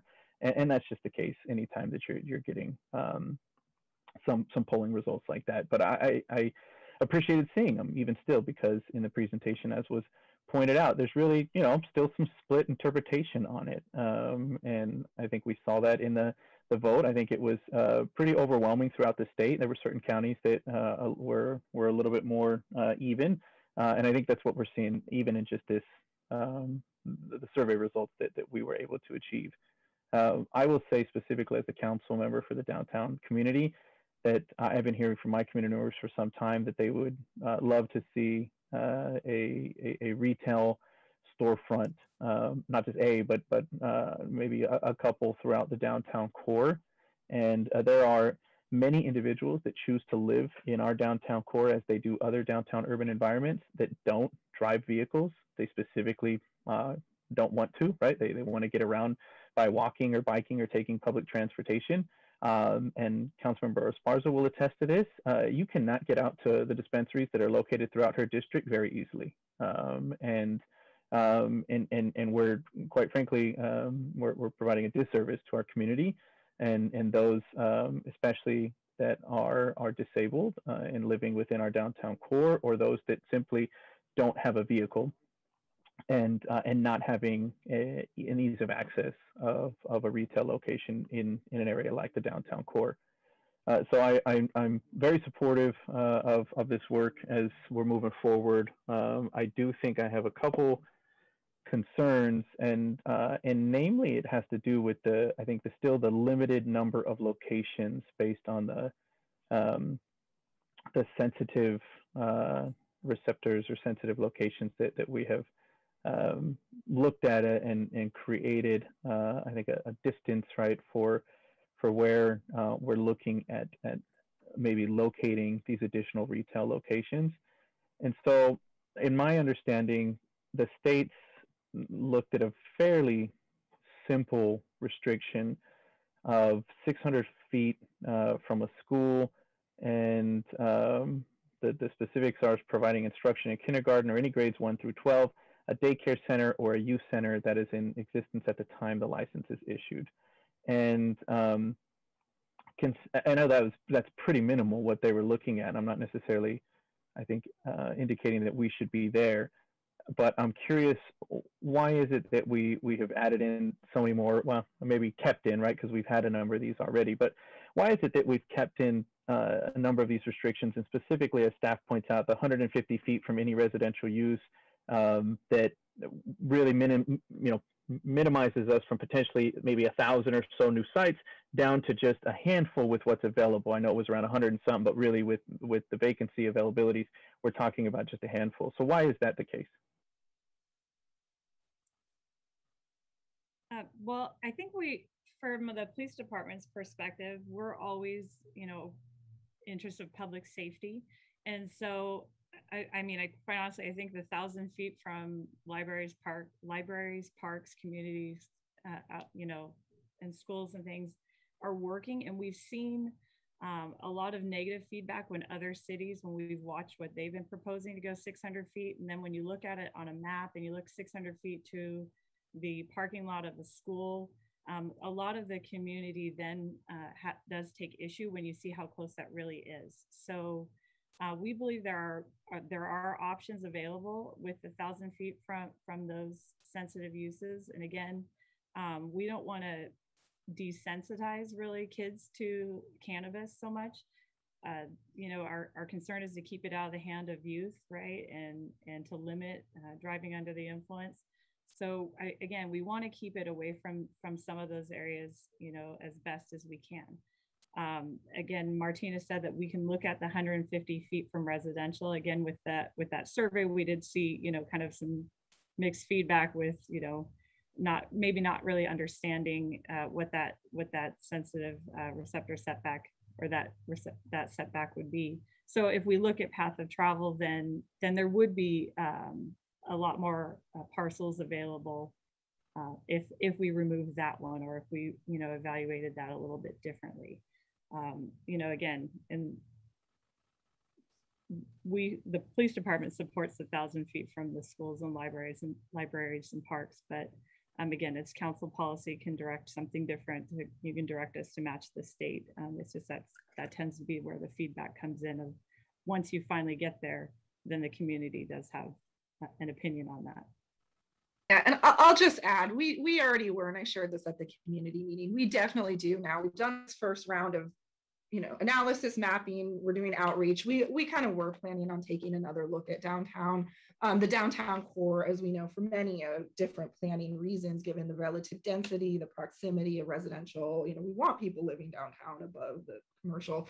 Um, so a lot of those distance requirements that imply that they're going to be separated don't work for downtown. So, so certainly in particular, as I said, that residential distance for downtown, it becomes almost a deal killer. So we'll, we'll be looking at that. We, we just wanted to get a sense of what the, the community, what, you know, what we heard from the community and what we heard from you on sort of the desire to do it have them um, in the downtown core before we then start uh, kind of taking another look at that. So uh, we've heard okay. desire, no, so we'll be taking another look that's helpful. So, I mean, it sounds like uh, what you've put out here, you're looking for this kind of feedback in regards to, to obviously what, whether it's from the community or from the council here.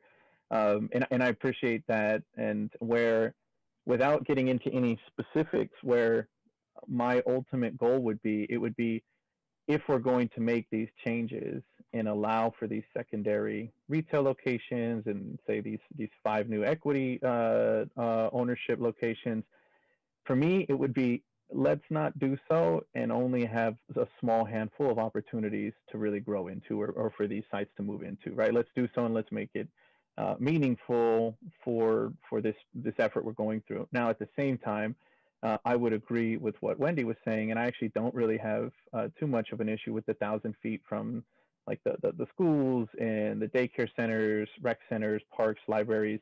I would agree with that, and it sounds like that's not necessarily the you know the one policy or the one the one parameter that's holding back a lot of sites. It really does sound like it is this this 150 feet from from residential, um, and uh, and I think at the same time, right, that none of us would be expecting that that you know um, that a that a dispensary or retail dispensary should should be located in just about any neighborhood. But at the same time, I think when you make this restriction uh, and you limit it so um, so much, then it really takes away other opportunities. And and I would say as much as I'm supportive, and you've heard here today on the downtown core, maybe having a different set of parameters, and I think you're you're receptive to that as well I also don't want to see just a major shift from what we've, you know, where Councilmember Esparza is saying, hey, look, there's a much uh, too much of an overconcentration in D7. I don't necessarily want that shift just to fall into to District 3 and say, oh, now there's an overconcentration in District 3.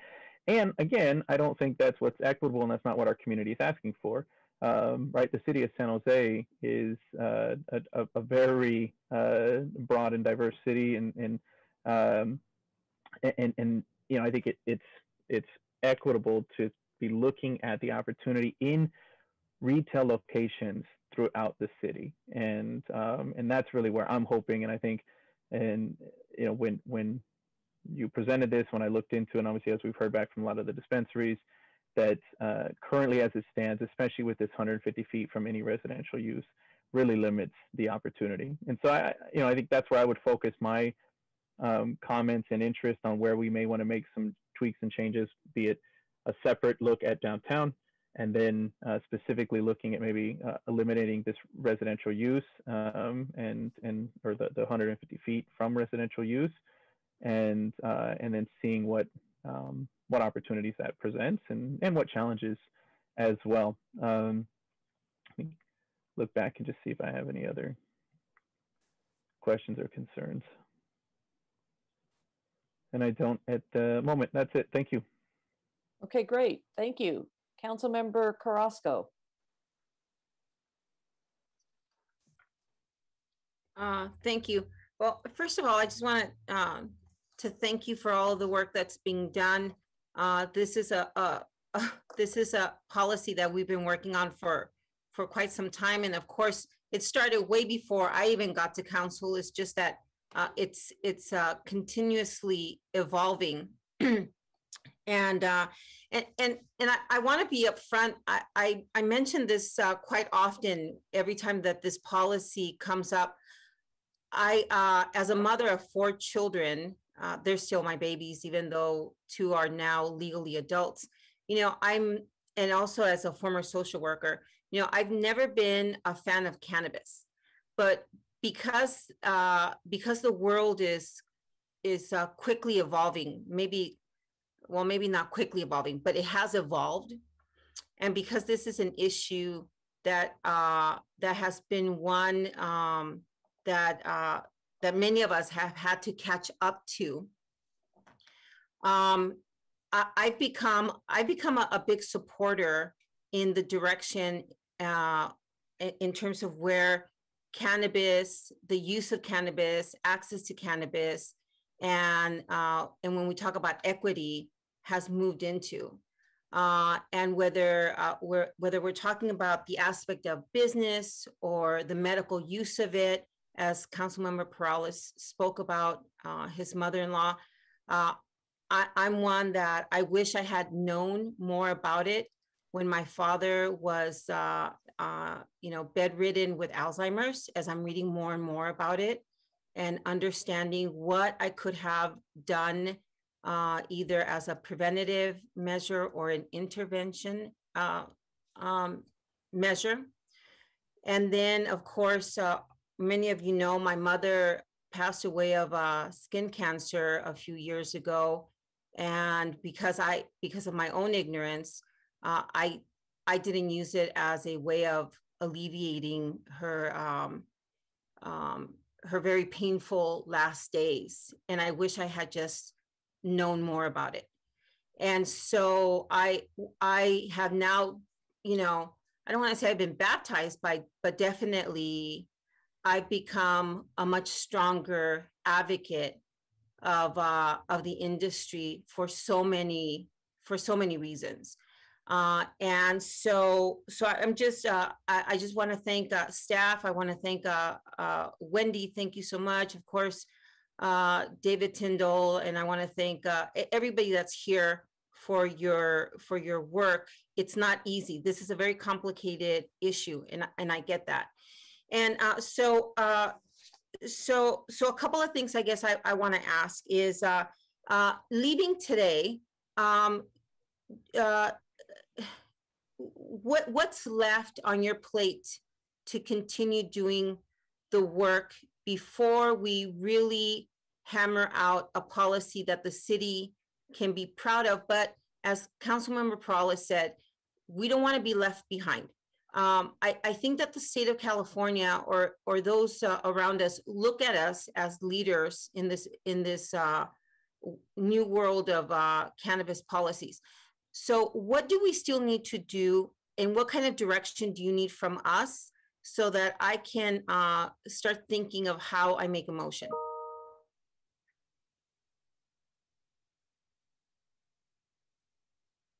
I mean, Want I me to think take that want- one, Wendy? Yeah, sorry. I, I was thinking, I think what we want is to kind of get uh, your opinion on where we're, what we're recommending, because we aren't recommending second retail locations. We are recommending that they move their existing retail locations to the expanded zones. So the, their current retail locations would, would close and they would open retail in a different area. So uh, we're, that, that's what our, what our recommendation is as of today. So if the committee members are thinking something differently, then that's what we were, you know, hoping to hear some feedback on. Um, and so we've got some feedback now with, with what the sensitive, um, the setbacks. And so we'll look at that. Um, we'll kind of, we'll look at the, that, we'll look at the thousand feet. We'll definitely be looking at the hundred and fifty feet and we'll see if we'll, uh, change our recommendation. Again, we have the CEQA, uh, study that's, that's going to be underway. And then we'll go to the planning, uh, commission, hopefully in July and then full council in August. Um, so we'll, we'll look, we'll evaluate what other, uh, cities are currently doing. So then as you know other cities are, are surrounding us are um, proposing changes we'll look at those. So we'll have some more comparison for when we come back in august to see if our recommendation would change. Um, but again i mean i think our big our our big push today was um, allowing our existing 16 to move their retail allowing uh, cannabis equity applicants to apply uh, for registration in our city um, so those those were our two big recommendations, um, I think, in our memo today. Okay, and so, um, uh, and, and I agree with, uh, uh, Councilmember Peralez that, um, uh, that I'd like to see, uh, uh, us move more in alignment, uh, with the state guidelines. Uh, and in order to do that, what, what kind of work would you need to do in order to come back to committee versus going to city council, before going to city council, I should say? I'll just, I will share that. So for purposes of our CEQA clearance, um, we are actually just going to go ahead and analyze the potential environmental impacts of being in alignment with state law when it comes to the the uh, the distances. So we're kind of giving ourselves some wiggle room that we're not locking ourselves in stone with a CEQA project description. Um, the CEQA clearance we're planning is an initial study, so we'll be circulating it and then likely a negative or a mitigated negative declaration. So I, I will say that, I guess I'm saying that to say there is some, there's definitely room for us to adjust our recommendation. We're not locking ourselves in stone by circulating a CEQA document that says one thing and it, and council may want to go another. So Um, I'll just throw that out there to start with. Yes, so council member, we, I don't believe that we need to come back to this committee again. I think that we can move forward with the CEQA study. And then again, if some of the things that we are looking at are matching the state, our recommendation still very well may be to have more restrictive um, setbacks than the state, but then um, but then full council can can you know make a different recommendation. Uh, but again, we want to we want to look at that first. We want to look at um, what that might mean um, in different communities if we change it from a thousand feet to 600 feet from schools and libraries and parks and community centers. So we'd want to look at the look at the map and evaluate a little bit closer on that.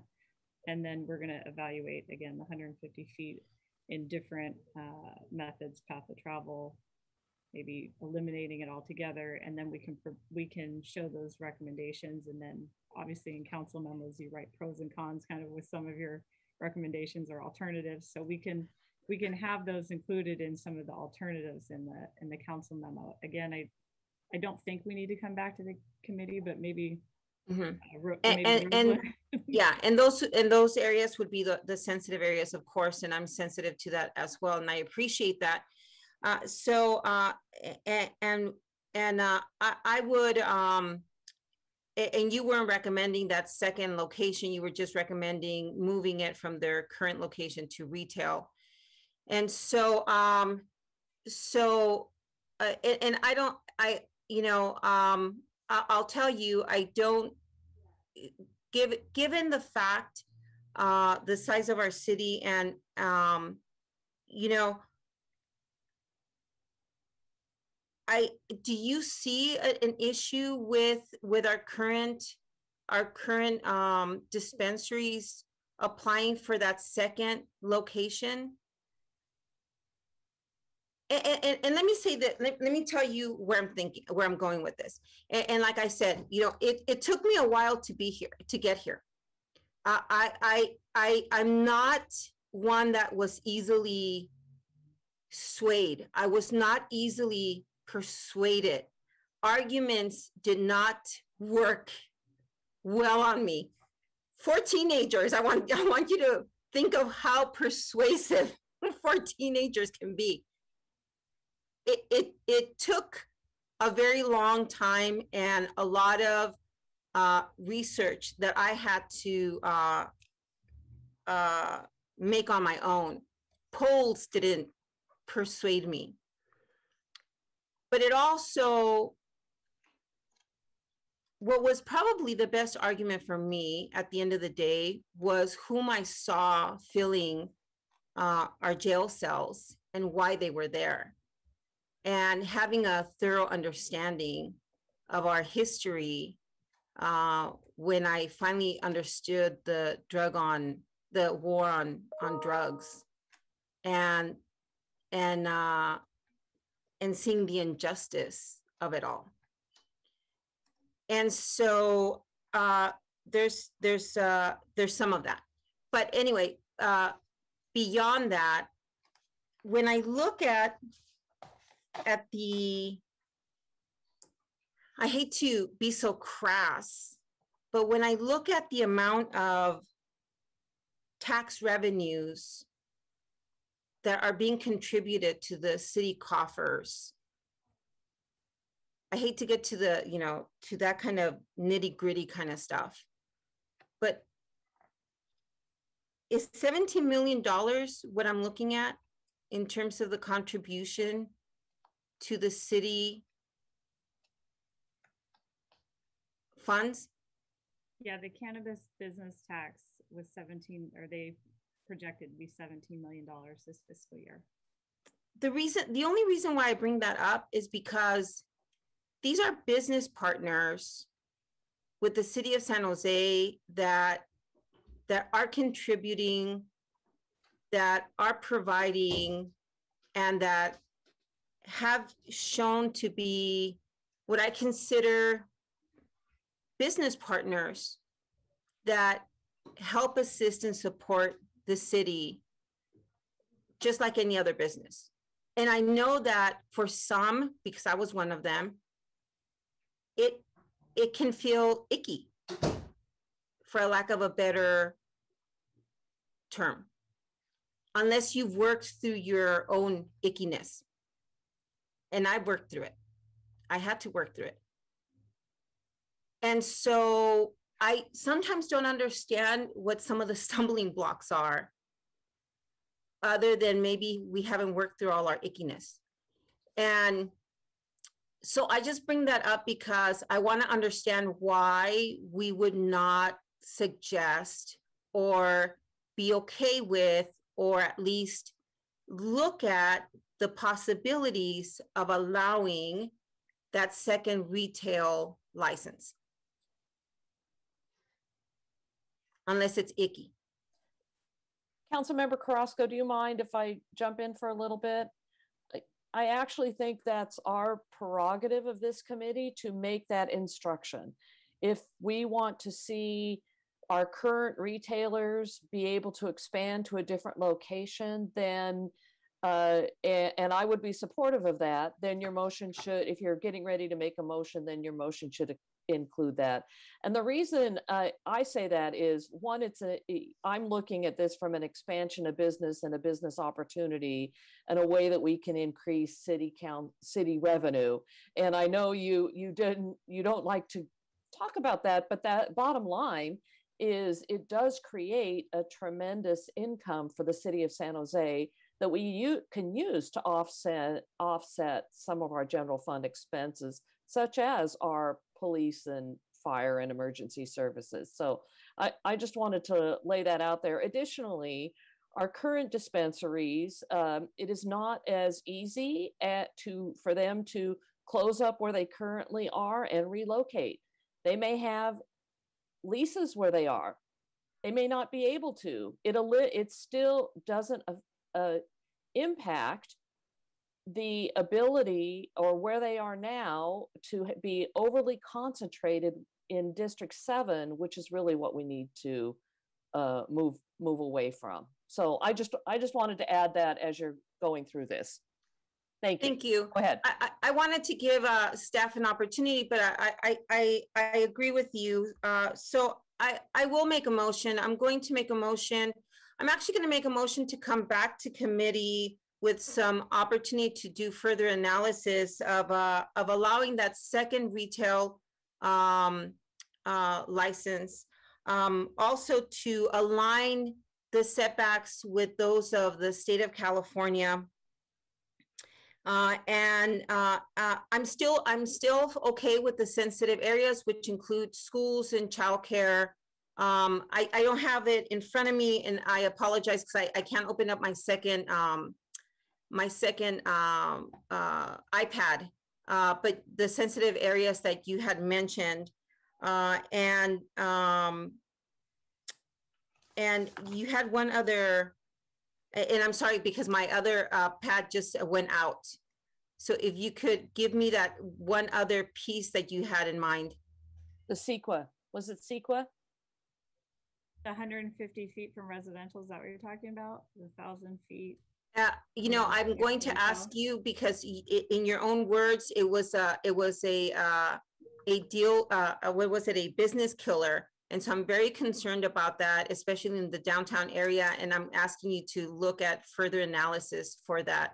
Uh, so, and that's why I think that's why I think that it's imperative that this comes back to committee versus the full council, so that we have uh, an opportunity to really weigh in on it and be able to look at it after you're able to have uh, uh, a, a, clear picture on that. And, and, that's really what did it for me is uh, when you said, you know, this this could be a uh, deal breaker or a, a, a, deal killer, I think you said, and uh, and that was an, an alarming um, an alarming point. So, anyways, that that's my motion, and I hope that I. Could you could you clarify your motion? So, are you proposing to keep the recommendation of the sensitive um, setbacks uh, to be a thousand feet from public or private preschools, elementary schools, child daycare centers, community and recreation centers, parks, and libraries. as well as a thousand feet from other dispensaries? Correct. Well, uh, allowing. would include but- that? But the rest of it, uh, uh, aligned with the state of California. Uh, the hundred and fifty from residential, I think, uh, I would like to see further analysis because, uh, I'm concerned that that's going to really limit, uh, opportunities for, uh, businesses to open up. And a I- I get second, that. I just, I'm just trying to understand it because it'll make the difference whether I can vote for the motion Oh, or not. So yeah. that's fine. I'm Those trying to sensitive areas. But- So but it would keep Councilman- thousand foot setback, is that correct? yeah, in those sensitive areas. Okay, thank you. But Councilmember Esparza, it did not include a thousand feet from current dispensary to dispensary. It did Oh, not it did include that. not keep No. a thousand feet from current. And this is, dispensary. this is instruction to come back to commit to us to discuss again.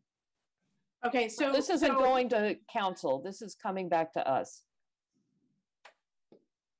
Okay, so I, I guess my question is, I'm not sure how this helps, seeing as the majority of ex- existing dispensaries are in my district, right? Like, that's what we're trying to move from. We're trying to help dispensaries be outside, uh, in other, go to other parts of the city, is that correct? I- i- If we could continue on with um, Councilmember Carrasco's motion, and then I'd like to get to Councilmember Mahan and then uh, over to you, if that's okay. Yes. Uh, well, and then, uh, the second retail, uh, license. Allowing, uh, our businesses to, uh, open up the second retail. And then, uh, the hundred and fifty feet from residential, uh, I'd like further analysis on that. And then, uh, I know that Councilmember Esparza, uh, the concern is how do we get these businesses out of District Seven? So, uh, if you could help me address that within this motion, um, I'd appreciate that because, uh, that is the, the concern that she has. And so I want to, I want to make sure that we get her vote on this one. Well, so, so if we, the whole zoning change allows these dispensaries to move out of their current locations. But to, and, if you give them two licenses, they can do that over time. They can start, they can expand their business to another location and consider reevaluating whether they're currently there is still a good business, a good place for them to be. But they've got many of, I don't know what their lease consideration is, but I imagine they have all signed leases and they can't get out of their leases very quickly. But we've heard from many who really want to locate, relocate, but they just can't do it yet. So, so primarily, uh, Ch- Chair, uh, and Councilmember Carrasco, the second retail is the main difference. I, I just write between what's in the memo and what's in the motion. Is that correct? Yes. And So an analysis of the 150 feet and all that. Coming back with that. So, okay, so could we just keep what Councilmember Carrasco is trying to do and keep keep the setbacks open, add further analysis to the hundred fifty feet and the second retail? Could that be the motion? Sure. Okay. Well, that's effect, yeah, I think that's effectively what she was saying. If that's the motion, then I can support it. Councilmember Carrasco, are you good? Yeah. Okay. Then, uh, Councilman Mahan. Chair, Well, if I don't just- mind, it, I don't think we have a second on the, on the Oh, motion. you're absolutely right. And I'm, I'm willing to second it, but quite honestly, I'm a little confused. And so, um, so, so I wanted to just see if I could, uh, I, I- I'm, I'm willing to second it, but I, I wanted to try to clarify what I'm seconding, if, if that was all right, because I know there, there is, there is a bit going on here, obviously, within the recommendation, so. Uh, okay, I'm gonna try and paraphrase it. I didn't write it all down, but, uh, Yasmin, are you still here? Did you take notes of the motion that we're voting on, or Rosalynn, or is there a staff person who's been documenting this? Ba- Chair, I can take a stab at it if you like. Okay, please. As I've been listening to the discussion, as I understand Councilmember Carrasco motion is that staff would return to the committee with a d- analysis on allowing a second retail license for the existing 16 and further analysis on the setback requirement. Of the hundred and fifty feet. I wrote that down. Yes, of the 150 feet. Thank you for adding that. And Were to there be any, those were super the two specific, it main- was the hundred and fifty feet from any residential use. Yes, Correct. yes. Were there any other elements, um, Councilmember Carrasco, that we missed? And, and uh, aligning the thousand uh, feet uh, setback with that of California's um, guidelines. So Councilmember, that's why I had clarified the motion was to keep, so the state is six hundred feet. What's mentioned in this memo is a thousand foot setback. If it's not a thousand feet, I can't support the motion. So that's why I'm, I'm clarifying. Um, so would we keep the thousand foot or not on the sensitive uses to public or private preschools, elementary schools, child No, daycare we, centers? we would keep it in the sensitive areas. Okay. Keep it in the sensitive areas. Outside of the sensitive areas, we would align it with the state of California. So that's the second location issue. That's the thousand foot. Those are, those are the two things, right? no. in terms of the So, so, so sensitive areas across, yes, sensitive areas across the city stay sacred, stay sensitive, a thousand feet. Anything outside of the sensitive areas would be aligned with the guidelines from the state of California, which is six hundred feet. So in effect, you're just, we're just looking at the hundred and fifty feet residential setbacks And the second retail location. in the second, yeah, yeah. Right, So because the that- first already, motion. Is right. that correct? Seems odd to me. Well, Chair, who's who's up? Go ahead, you're up. Okay. Th- thanks to staff for the report, and you know, generally, generally feeling like we're heading in the right direction. Though obviously, um, you know, I had raised my hand to make the same recommendation that we come back to this committee before going to planning. So I'm glad to hear that's what we're that's the motion on the table. It, it does seem a little odd to me to to I mean, we can look at the analysis obviously, but to have different setbacks for retail location one and two does seem a little arbitrary, and I'm I'm a little confused by that notion to, to say for retail location one it should be a thousand feet from schools, but relo but if you have a second location, we'll let it be 600 feet from a school. Just seems I feel like that's going to ru- run into some problems. So uh, maybe there's a different way we can formulate that. Um, understood the point about residential. Sounds like that's something worth studying. I think I agree with my colleagues. I, I, I could imagine, uh, you know, residents across the city having concerns with it being too close, but I think it's worth the analysis. I think it's worth the conversation. So on, on board with that, certainly. I, I guess the question would be, you know, Councilmember Peralez mentioned thinking about downtown differently and maybe we should think about urban villages differently. And, and as we all know, we have potential urban village sites in every single district in the city. And so I wonder if something we're thinking about is actually, and I'm not quite sure how you would write this ordinance, but is more about the sort of density and land use, you know, the zoning there. You know, do, do we want to think about denser parts of the city like downtown having more relaxed setbacks? I mean, it, sounded to me like that's what Councilmember Peralez was pointing to. And so rather than the distinction being between retail location one and retail location two, if we go that route, maybe it has more to do with the underlying zoning um, or, or land use in the city. So I'm, I'm just throwing out ideas. I'm sure staff's going to come back to us. I mean, my, my main point was that I really felt like we were going to need to come back and have a second conversation. So I'm glad it seems, seems like we got there. Um, and I think most of my other questions were actually answered. I did want to ask, you know, there was this point in the memo about the CEQA concern that retailers had raised.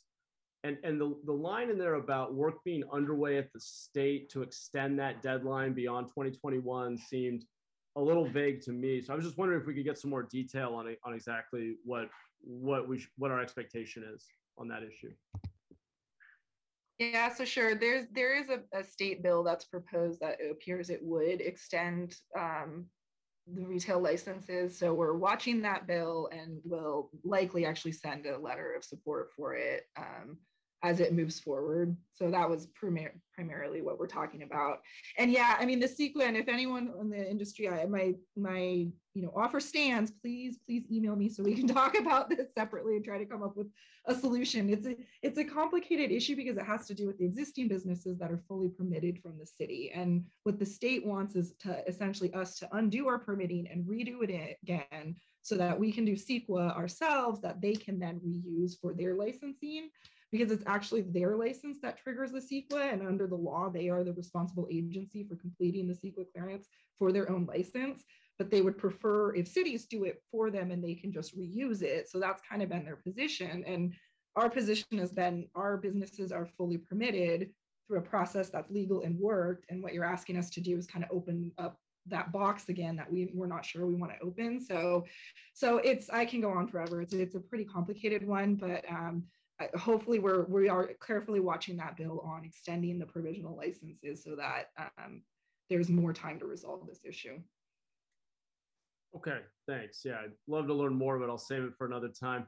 Um, and then I think I'm almost done here. If, if we were to go with the with the, the current staff recommendation that would require the, the, the retailer to um, not require, I'm sorry, allow them to relocate. I didn't see a time limit. Would that was that just open ended? Would that time out at some point? How were you thinking about that?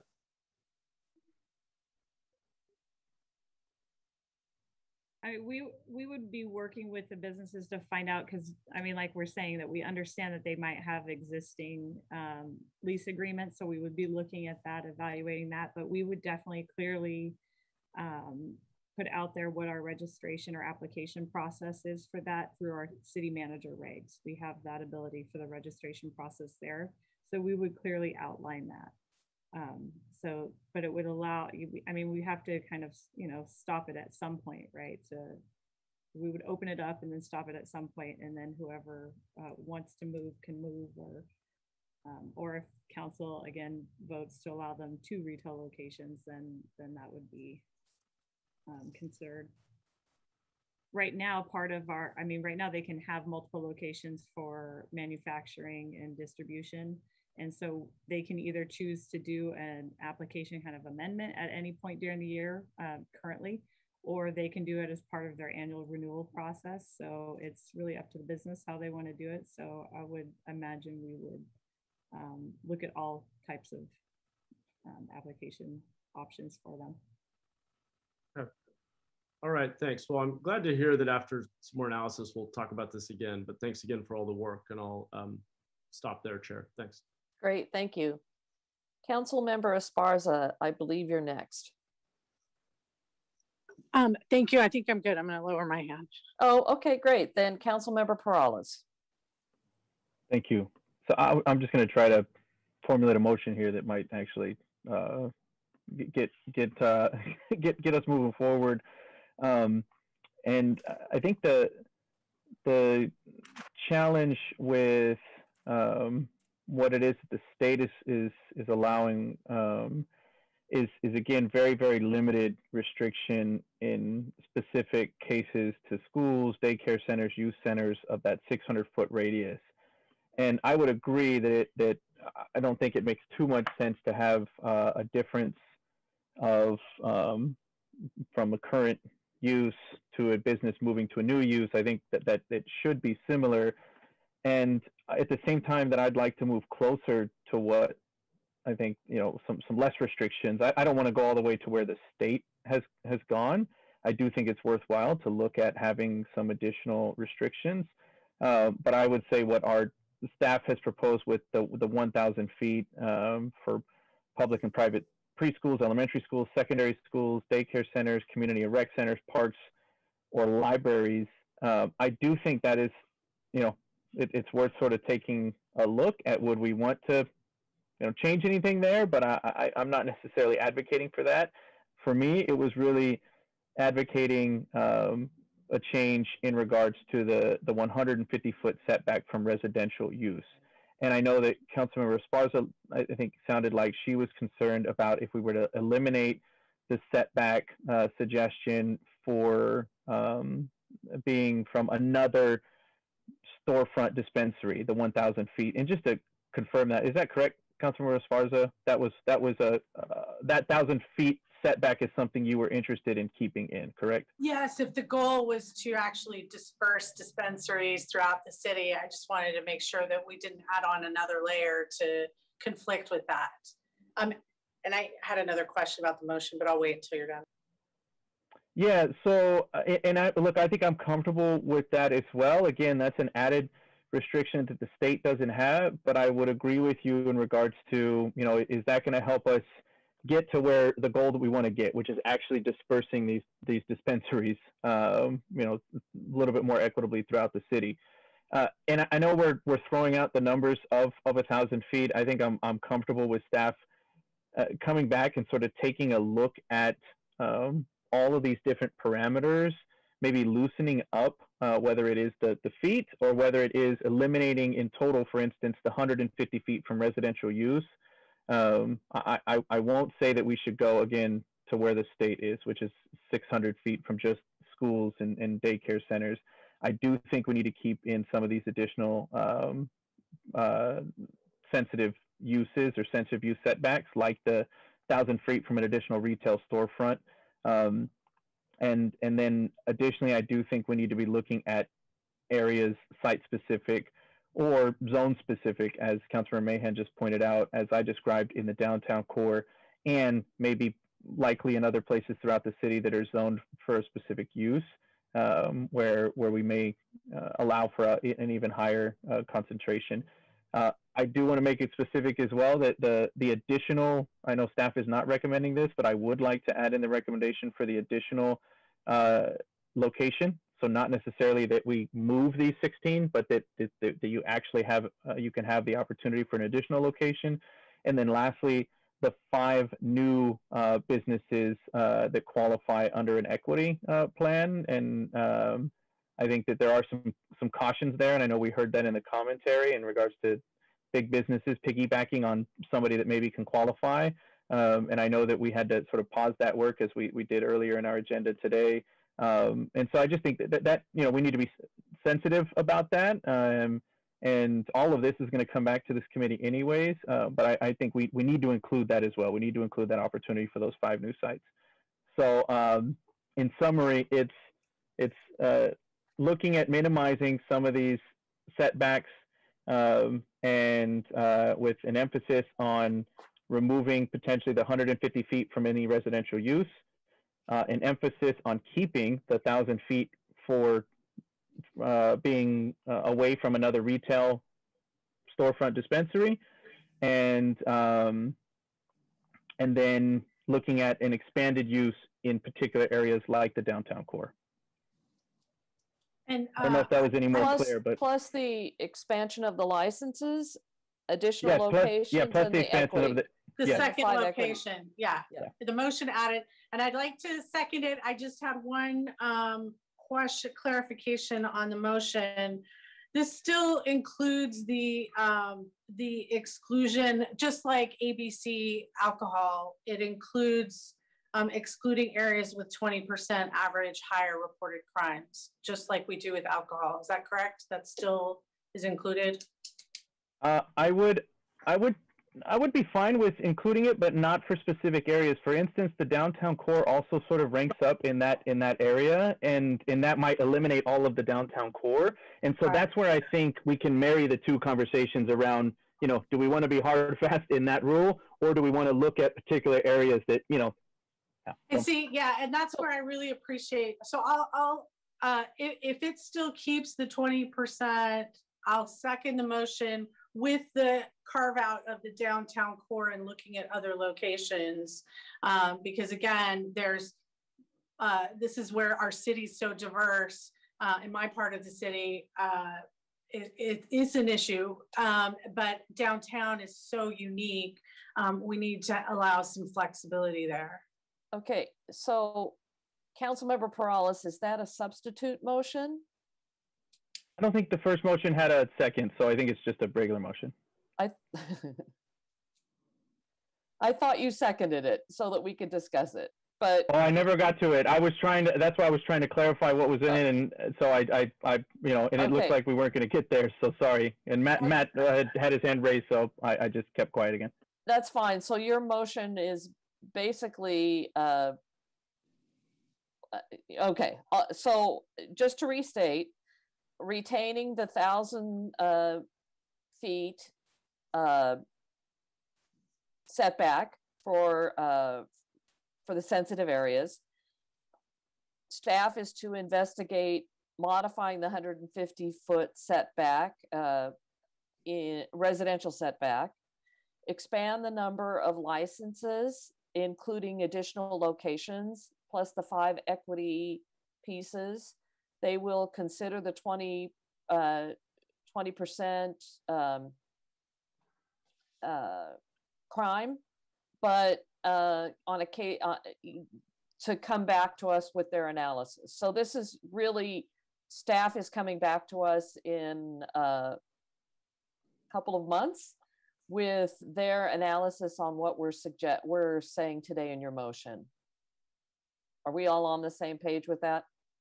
If I Yes, and understood correctly, both, oh, sorry, council member, I, I thought that both the twenty percent and the thousand feet for downtown might be carved out or, or uh, analyzed separately as a special zone. Is that correct? Hundred and fifty feet, I didn't really hear the thousand feet, but it's gonna come back for analysis anyway, so I, I, I think we're, I think we're all on the same page. And downtown is, I think, Councilmember Mahan, I think downtown is getting a sort of a separate review. Is that correct? That's That's my understanding. Okay, okay, I think we're all there.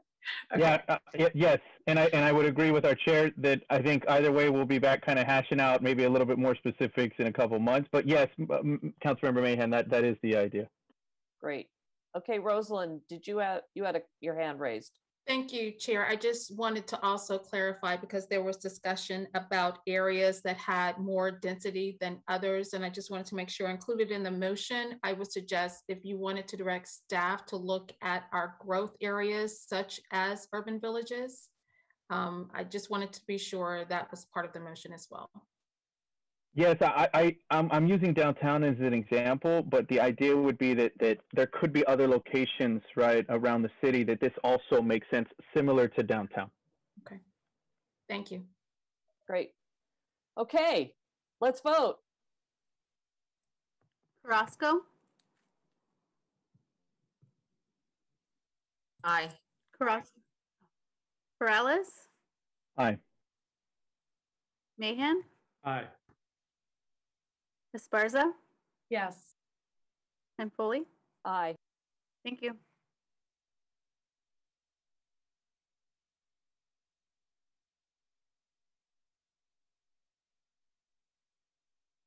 Chair, you are on mute.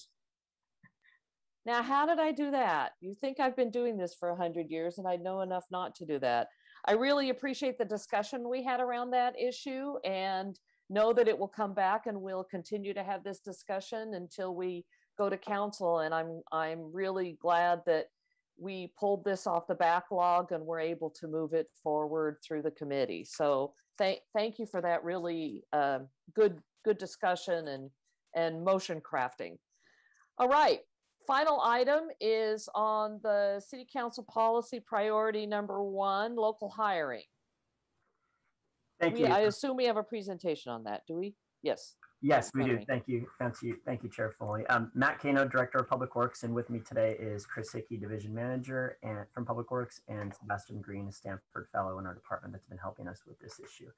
Um, I'll turn the presentation over to uh, Chris in a second. Um, but just wanted to mention as a as stewards of a multi-billion dollar capital improvement program in the city, it's important for us to not only um, focus on how or focus on the what we build, but it's also fo- important to focus on how we build that and how do we engage our community to enhance um, their economic and job opportunities as part of these funds that we're the stewards of.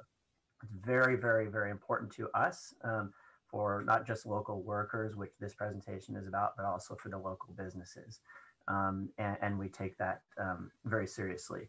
Um, This item is currently on the city's roadmap as backlog item number four. However, we have been collecting data and any addition, but we have been collecting data on it. And so we felt it was important that even though it's on the backlog, it was important for us to come and present the data that we have to keep that discussion at the forefront of people's minds um, for if and when there's an opportunity to provide additional funding um, to actually to move this initiative forward. And so with that, I'll turn that over to Chris Hickey uh, for the rest of the presentation. Hello, uh, committee uh, chair and council members. Uh, Chris Hickey, Department of Public Works. Um, we're here today. Uh, the recommendation is in front of you, um, and it's and to accept and provide feedback on this report regarding local worker participation on City of San Jose Public Works uh, construction projects. Um, as Matt stated, um, this was reprioritized um, from the 2020 2021 uh, council priority uh, number one to the city's roadmap backlog of uh, number four. So as Matt said, we just want to kind of give you a background, bring this up um, because it is very, very important to Public Works and the city. So again, previously uh, it was council priority number one. Uh, it included local hiring, local business, and apprenticeship utilization. So three very large things in one. Um, local hiring uh, reg in regards to our construction contracts uh, that the city puts out for our public works. Um, that would be the workers, the actual employees. Local businesses would be the employee, uh, the companies that would be building our projects, as well as apprentice utilization. So trying to get, uh, you know, building up the industry um, as we go forward. So in an effort to make any type of gains in this, uh, the city uh, executed a project labor agreement uh, with the Santa Clara County, San Benito County's Building Trade Council.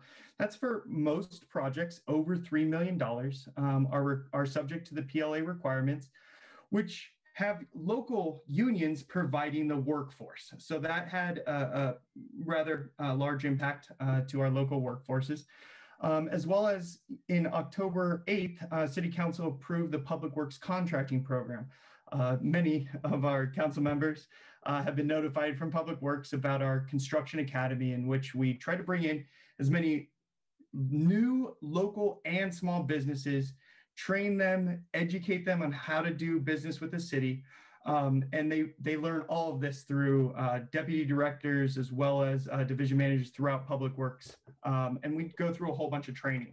So we're we're making efforts in that. And so what we decided to do was how can we identify or what should we be identifying when it comes to our local employees? So the Office of Equality Assurance in Public Works, we started collecting data between December 2019 and January 2021.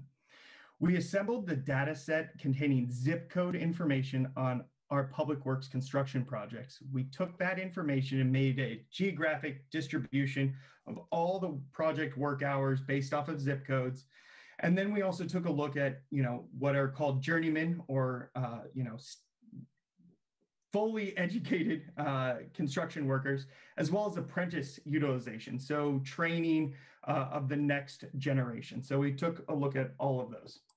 So what we found was that our local ratio of workers and our local for Santa Clara uh, in San Jose is actually deemed as Santa Clara County. So our ratio of local workers is relatively pretty high. Uh, you know, we had a peak uh, sometime in June. Again, our construction industry um, is seasonal when it's raining, we're not really constructing a lot. Um, when it's uh, warmer outside, better weather, we have a lot of our pro projects going on. So you see it, you know, through this April, May, June, even in July, we have very, very good uh, numbers for our local workers. As we start to go through the seasons um, and we start hitting this, you know, winter time frame, we start to see some type of leveling off. Why this is important is the public works, uh, we actually went out and benchmarked against some of the other cities in the state of California um, to see where other cities with local hire policies, where they sit on uh, their ratios. So we found two very, very close um, partners. Uh, that would be the city and county of San Francisco, as well as the city and county of Los Angeles. Both of them have mandatory local hire policies. Both cities and counties, uh, San Francisco and Los Angeles, they mandate 30% of their project hours are um, completed by local residents.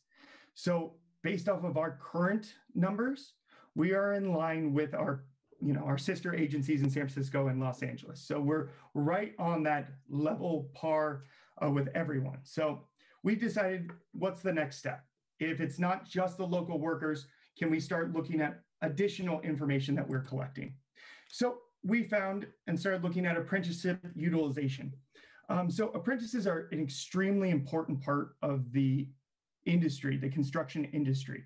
Um, it's really setting up that next generation uh, to go through that next step, to become journeymen, to be working on our public works construction projects.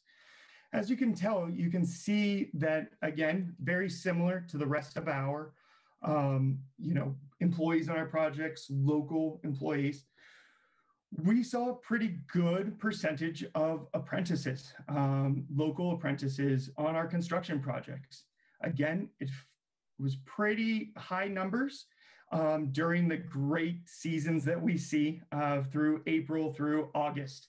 Um, you started to see some slight declines, and then you saw some very large declines. So we're starting to see that apprenticeship utilization is actually being lowered um, with all of our construction projects. There's a lot of different things that could be happening here. We have not been able to identify any specific reason of this um, at this point. However, with that said, there's still some options and actions that we can do. So for our public works construction projects, Public Works will continue to track our local worker ratios and our local apprenticeship ratios. We will report on it annually. Trying to we're, what we're trying to say is we're trying to make sure that the 30% is accurate. We're trying to make sure that the 30% uh, goals are continuing that we're not seeing any sharp uh, declines or even inclines. Um, and then we also need to assess and we'd like to assess whether or not the 30% goal is that healthy equilibrium uh, for our city for our region again we benchmarked against san francisco and la but um, it would be nice to actually take a look at the city itself. Um, potentially, there's some work there. Additionally, apprenticeship hours. Um, so we'd like to seek opportunities to partner with our pre-apprenticeship programs um, to increase opportunities for local workers to receive apprenticeships um, and other opportunities. So, you know, pre-apprenticeship programs, um, you know, the city has some experience with it. Our work2future um, group uh, works with TOPS, Trades Orientation Program, uh, with our Building Trades Council. And so working with uh, organizations like the TOP program, as well as some of the other uh, pre-apprenticeship programs, would really allow us to understand, you know, if the city can, you know, step foot into that uh, realm to potentially help uh, with uh, their type of resources or even providing educational support. So that's an additional step. And our conclusion. Um, so our local hours ratios closely match the percentage goals for San Francisco and Los Angeles counties. Our local apprenticeship ratios could be improved. We believe based off of the numbers that we can improve those.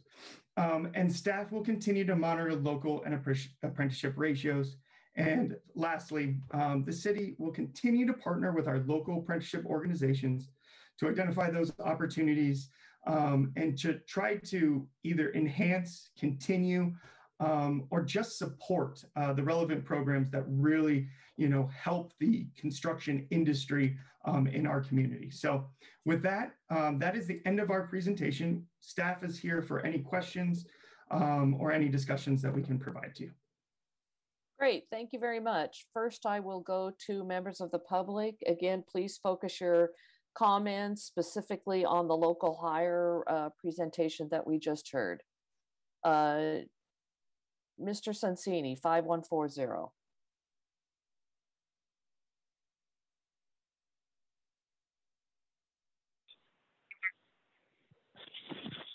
Do we really need another program in this city?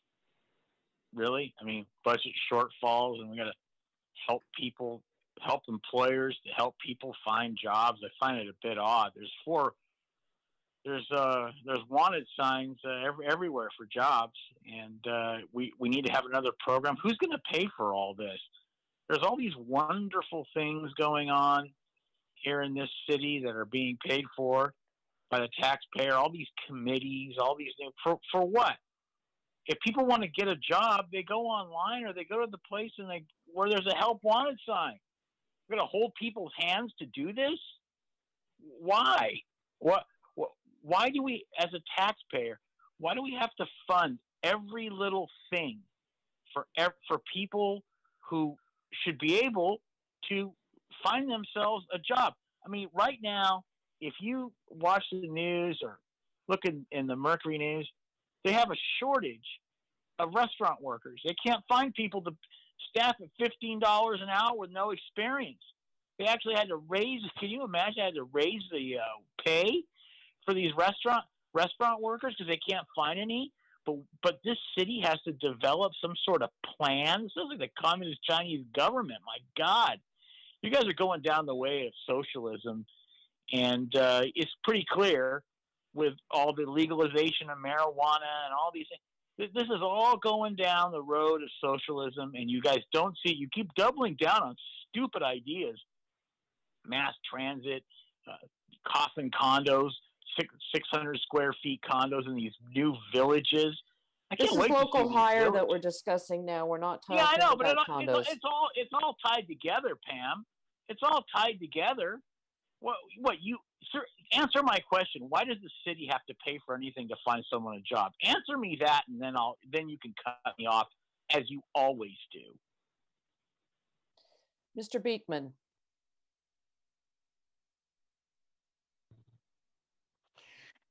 Hi, Blair Beekman here. Uh, the one, two in abstractions today. You get uh, the abstract group today to address, uh, you know, these important issues of our time in city, government, and community. Hi. Um, you know, I I, I do feel from the words of the previous speaker that uh, you know there's important connections in in this work and this effort that's going on right now and how it connects to things. I was going to offer for this item, you know, we're trying to address our young people at this time and what can they do in this era of COVID? And, and what are what are the steps we were we are taking to get, get out of this era and just to be um, I don't know friendly with ourselves and and and and and building community with ourselves? And uh, programs like what you talked about here for this item are doing that. And I just wanted to thank yourselves for it. And thank you for the efforts. Uh, you know, uh, we really do have socialistic questions we have to address with the future of COVID. And I, I, I hope we're not afraid to ask those questions and it's difficult and i wish it didn't have to be in this difficult sort of setting i think we could have asked these same sort of questions without a, having to perform a major pandemic but we are here now at this time and we're here to ask ourselves important questions of, of socialism for our future. And we and we are at the time to start asking ourselves openly as a community process what exactly those questions are. I feel this particular item addresses perfectly you know the ideas of how to uh, help each other and work with each other to build that sustainable future that we need. And uh, so thank you for this item and and and our, and our work together at this time Thank you. Uh, going back to the committee then, Councilmember Esparza. Thank you. Um, I, uh, I really appreciate having this come back to us. Um, and uh, I wanted to um, a couple of things. So one is I love the apprentice programs. I'm just going to share my own experience with the apprentice and the pre sorry the pre-apprentice programs. Um, uh, for having formerly worked with homeless veterans, um, we were able to get dozens dozens of veterans um, into this pipeline, uh, which was pretty amazing. Um, and I know that their efforts to recruit foster youth, um, justice impacted youth, Um, and there are other efforts out there with apprentice programs. So I think the, um, the opportunities that are posed with the apprentice programs um, are great, really great opportunities to, for folks to be able to change um, to, to make changes and to realize opportunities um, for better paying jobs. Um, I wanted to offer also, though, I I think what local hire was trying to get at, I know this predates me a little bit, but the issue has also been around a really long time, um, is how basically we can promote equity, right? We have projects where um, where local dollars are being spent, where the city is involved, and we want to make sure that the people who live in our city are able to to or live in our county are able to stay in our county. Um, one of the things I wanted to ask was how we could how we could create a type of equity lens, um, perhaps instead of local hire, to really get at that equity issue in terms of folks who are being priced out of the area and, and commuting from Los Baños and Tracy and God knows where um, to else to come and do jobs here. Is there another way that we can apply an equity lens to really get at what local hire is trying to do? I'll, I'll let Chris uh, take first response to that. Yes, thank you, council member. Um, yes, um, that is a, uh, if, if we had, you know, a couple hours uh, to chat here today, um, and I'm totally open for that. Um, there's a lot uh, when it comes to local hire. Uh, you are correct. Uh, local hire was actually first put on the council priority list in 2015 um, by former council member uh, uh. Um, it's been moving along. We've done two studies technically. Um, one study prior to COVID, and then we had another um, uh, vendor bring review that study. Um, yes, uh, housing is a rather large problem. Uh, the industry itself, um, you know, you have to go through these pre-apprenticeships. You have to go through an, uh, an approved apprenticeship program to become a journeyman. Um, and a journeyman is where you actually make, you know, a, more money, uh, good money, especially in uh, public works construction. Um, so yes, there, there's quite a lot uh, that we can do when we look at an equity-based or putting an equity uh, lens on it. Um, there have been things that we've already started discussing uh, within public works. Um, so, you know, uh, preferences on minor public works construction projects for local um, businesses um, you know, typically a local business will not go and hire from Sacramento for their local construction business. Uh, they will typically utilize uh, the region around them. Um, so there's that. We also have, you know, we're starting uh, the process public works on best value contracting, uh, which would also add those, uh, you know, potentially add the, that type of lens into that uh, conversation. There's again, lots of different aspects that we can try. Um, COVID, I will say though, COVID 19 really kind of threw a wrench into it. What when as we're looking at this data, um, you know, it's data through COVID. Is there, you know, since the construction industry was considered an essential service during COVID, did we not see the impacts? Should we have seen additional impacts um, that we're not seeing because of, uh, of you know, being an essential business. Um, those things, and this is why it's this coming back uh, to this committee now was so important. Uh, getting the direction from our council members, uh, from this committee on where we should be going, where we should be looking at. Um, adding an equity lens is definitely something we can try to identify and bring forward in our annual reporting and I just want to add to what Chris said. We are collecting zip code information as well, and so we do have um, that that would help us in a future equity discussion. Yeah, and I'd also um, want to clarify that. Sorry, uh, Sebastian Green, Public Works. Can you guys hear me at all? Yes. Yes.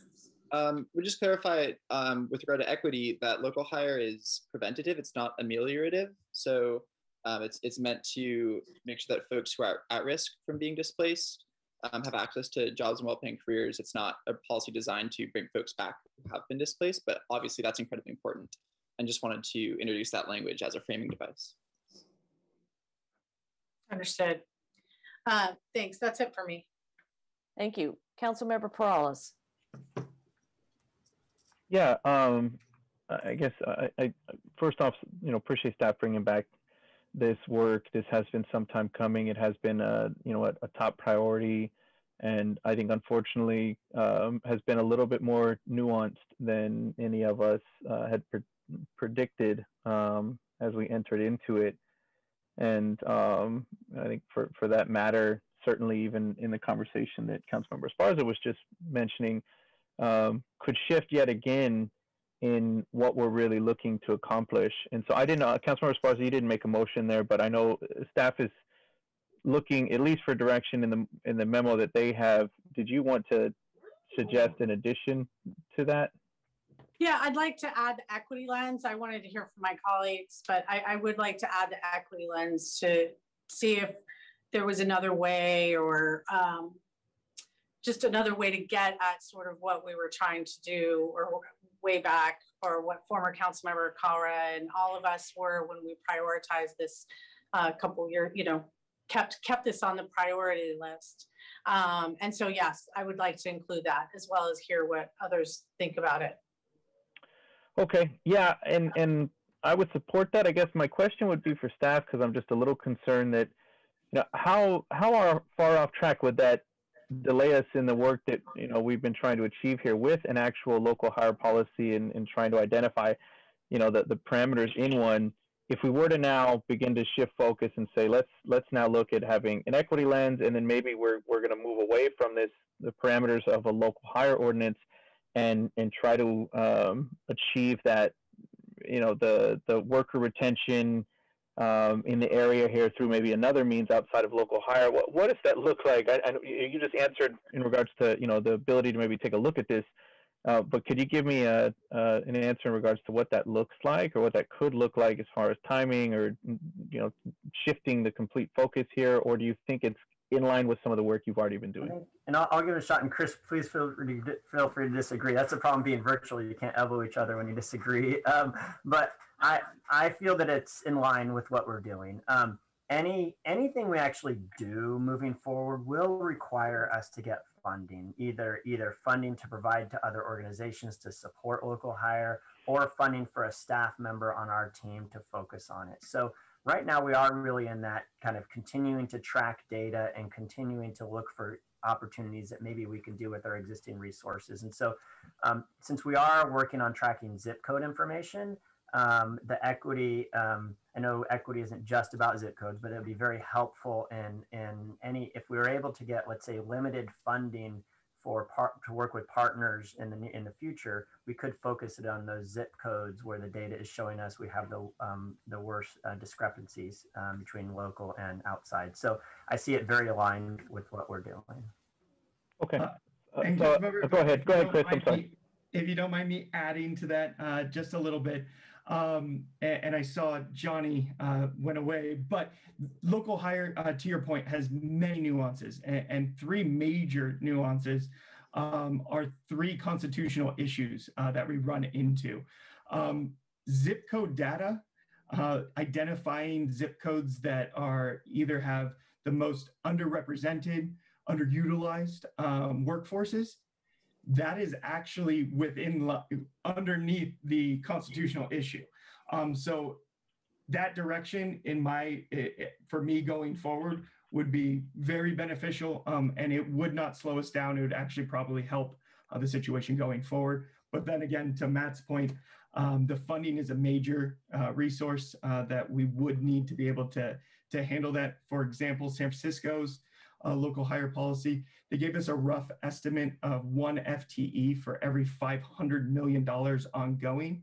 And they have approximately four to five staff doing this work um, just on local hire. That's not including the prevailing wages or any of that. So just to kind of give you that that ballpark, but that direction would be very good for us. Okay. That was a very explicit plea for help. Uh, make it I apologize. so noted. Uh, and we have a budget discussion coming up where I think you know we've we've had this discussion before, right? You can put our money where our mouth is if this truly is still the number one priority, right? That's uh, been on that list, even though it's been right kind of backlogged at least for this coming year. Um, I would agree if it needs some funding, uh, let's just say message heard, and and and that'll be something that that I know myself and my colleagues can advocate for in the budget. So I'll make a motion to approve the staff recommendation with just the one addition, as Councilmember Esparza was elaborating on, on developing uh, an equity lens on this workforce data. Um, and that's it. Thanks. Second. Okay, great. Is there any further discussion? Then let's vote. Carrasco?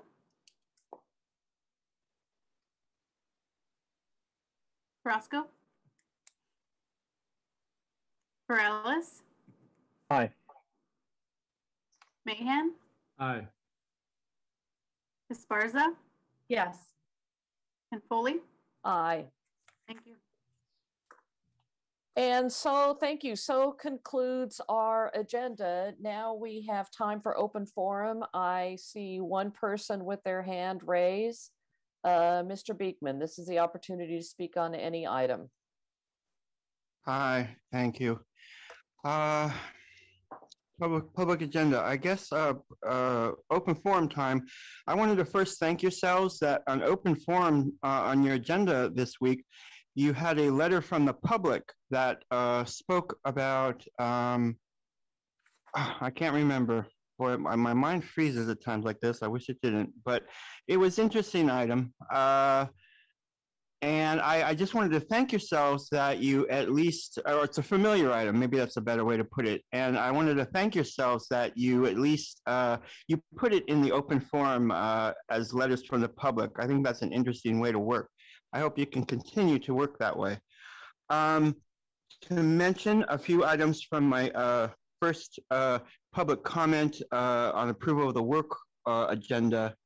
Um, I, I, you know, uh, my words about earthquake, you know, there's also uh, sea level rise and wildfire issues. Those are the big three that I think uh, we have to really consider in San Jose.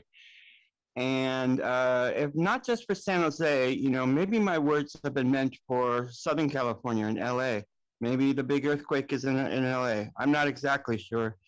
But uh, I, we do need to really prepare, I feel. And I, I hope you can be really patient with my words and, and, and speak to my words uh, right back to me, you know, exactly what I'm saying so we can be clear and I don't have to continue to rant about things. And, uh, you know, I don't want to be irresponsible, irresponsible about what I'm trying to pass along and talk about.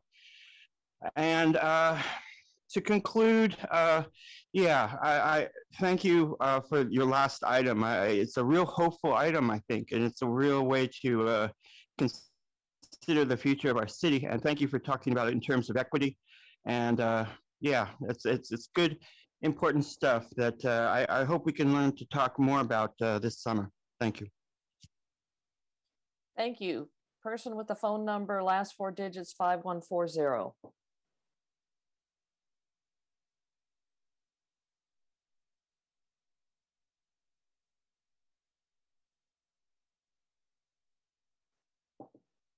We can't hear you. San Jose's in a brave new world, man. Doling out marijuana near the schools, near people's homes. This is going to be this is a class act by you people. Anyone out there who smokes marijuana, imagine when you buy it from these dispensaries, you're feeding the you are filling the trough for these cops and these politicians. You're just filling it up for them, giving them more. So every time just like Malcolm X said, every time you smoke cigarettes or drink alcohol, you're feeding the oppression. And that's, and that's what you're doing. Because this way they can have more code enforcement people out looking at flagpoles and people's sheds. Uh, they can, you know, help these kids find work. Hey, maybe these kids that need to find work when they turn 18, you guys can train them to, to work at these pot shops, right? You can train them to do that. There's a career selling marijuana legally uh, you know, in in some uh, pot store. That that would be good. Or maybe they could become code enforcement because we need more. We need more of those little Eichmanns running around in their in their little Priuses. You know, telling everybody that it's not. Uh, it's it's the neighbors who are telling on each other. It's not that. No, it's them. right? That's the psych right there, right? That that the code for oh hey it's your neighbor who called. Well, how come I can't find out? Don't I have a right to my accuser? No, not with code enforcement. Hey man, it's not us, it's them, right? So that's disgusting. That's you guys should there should be an ordinance against it. Whoever complains, you should know who your who your accuser is.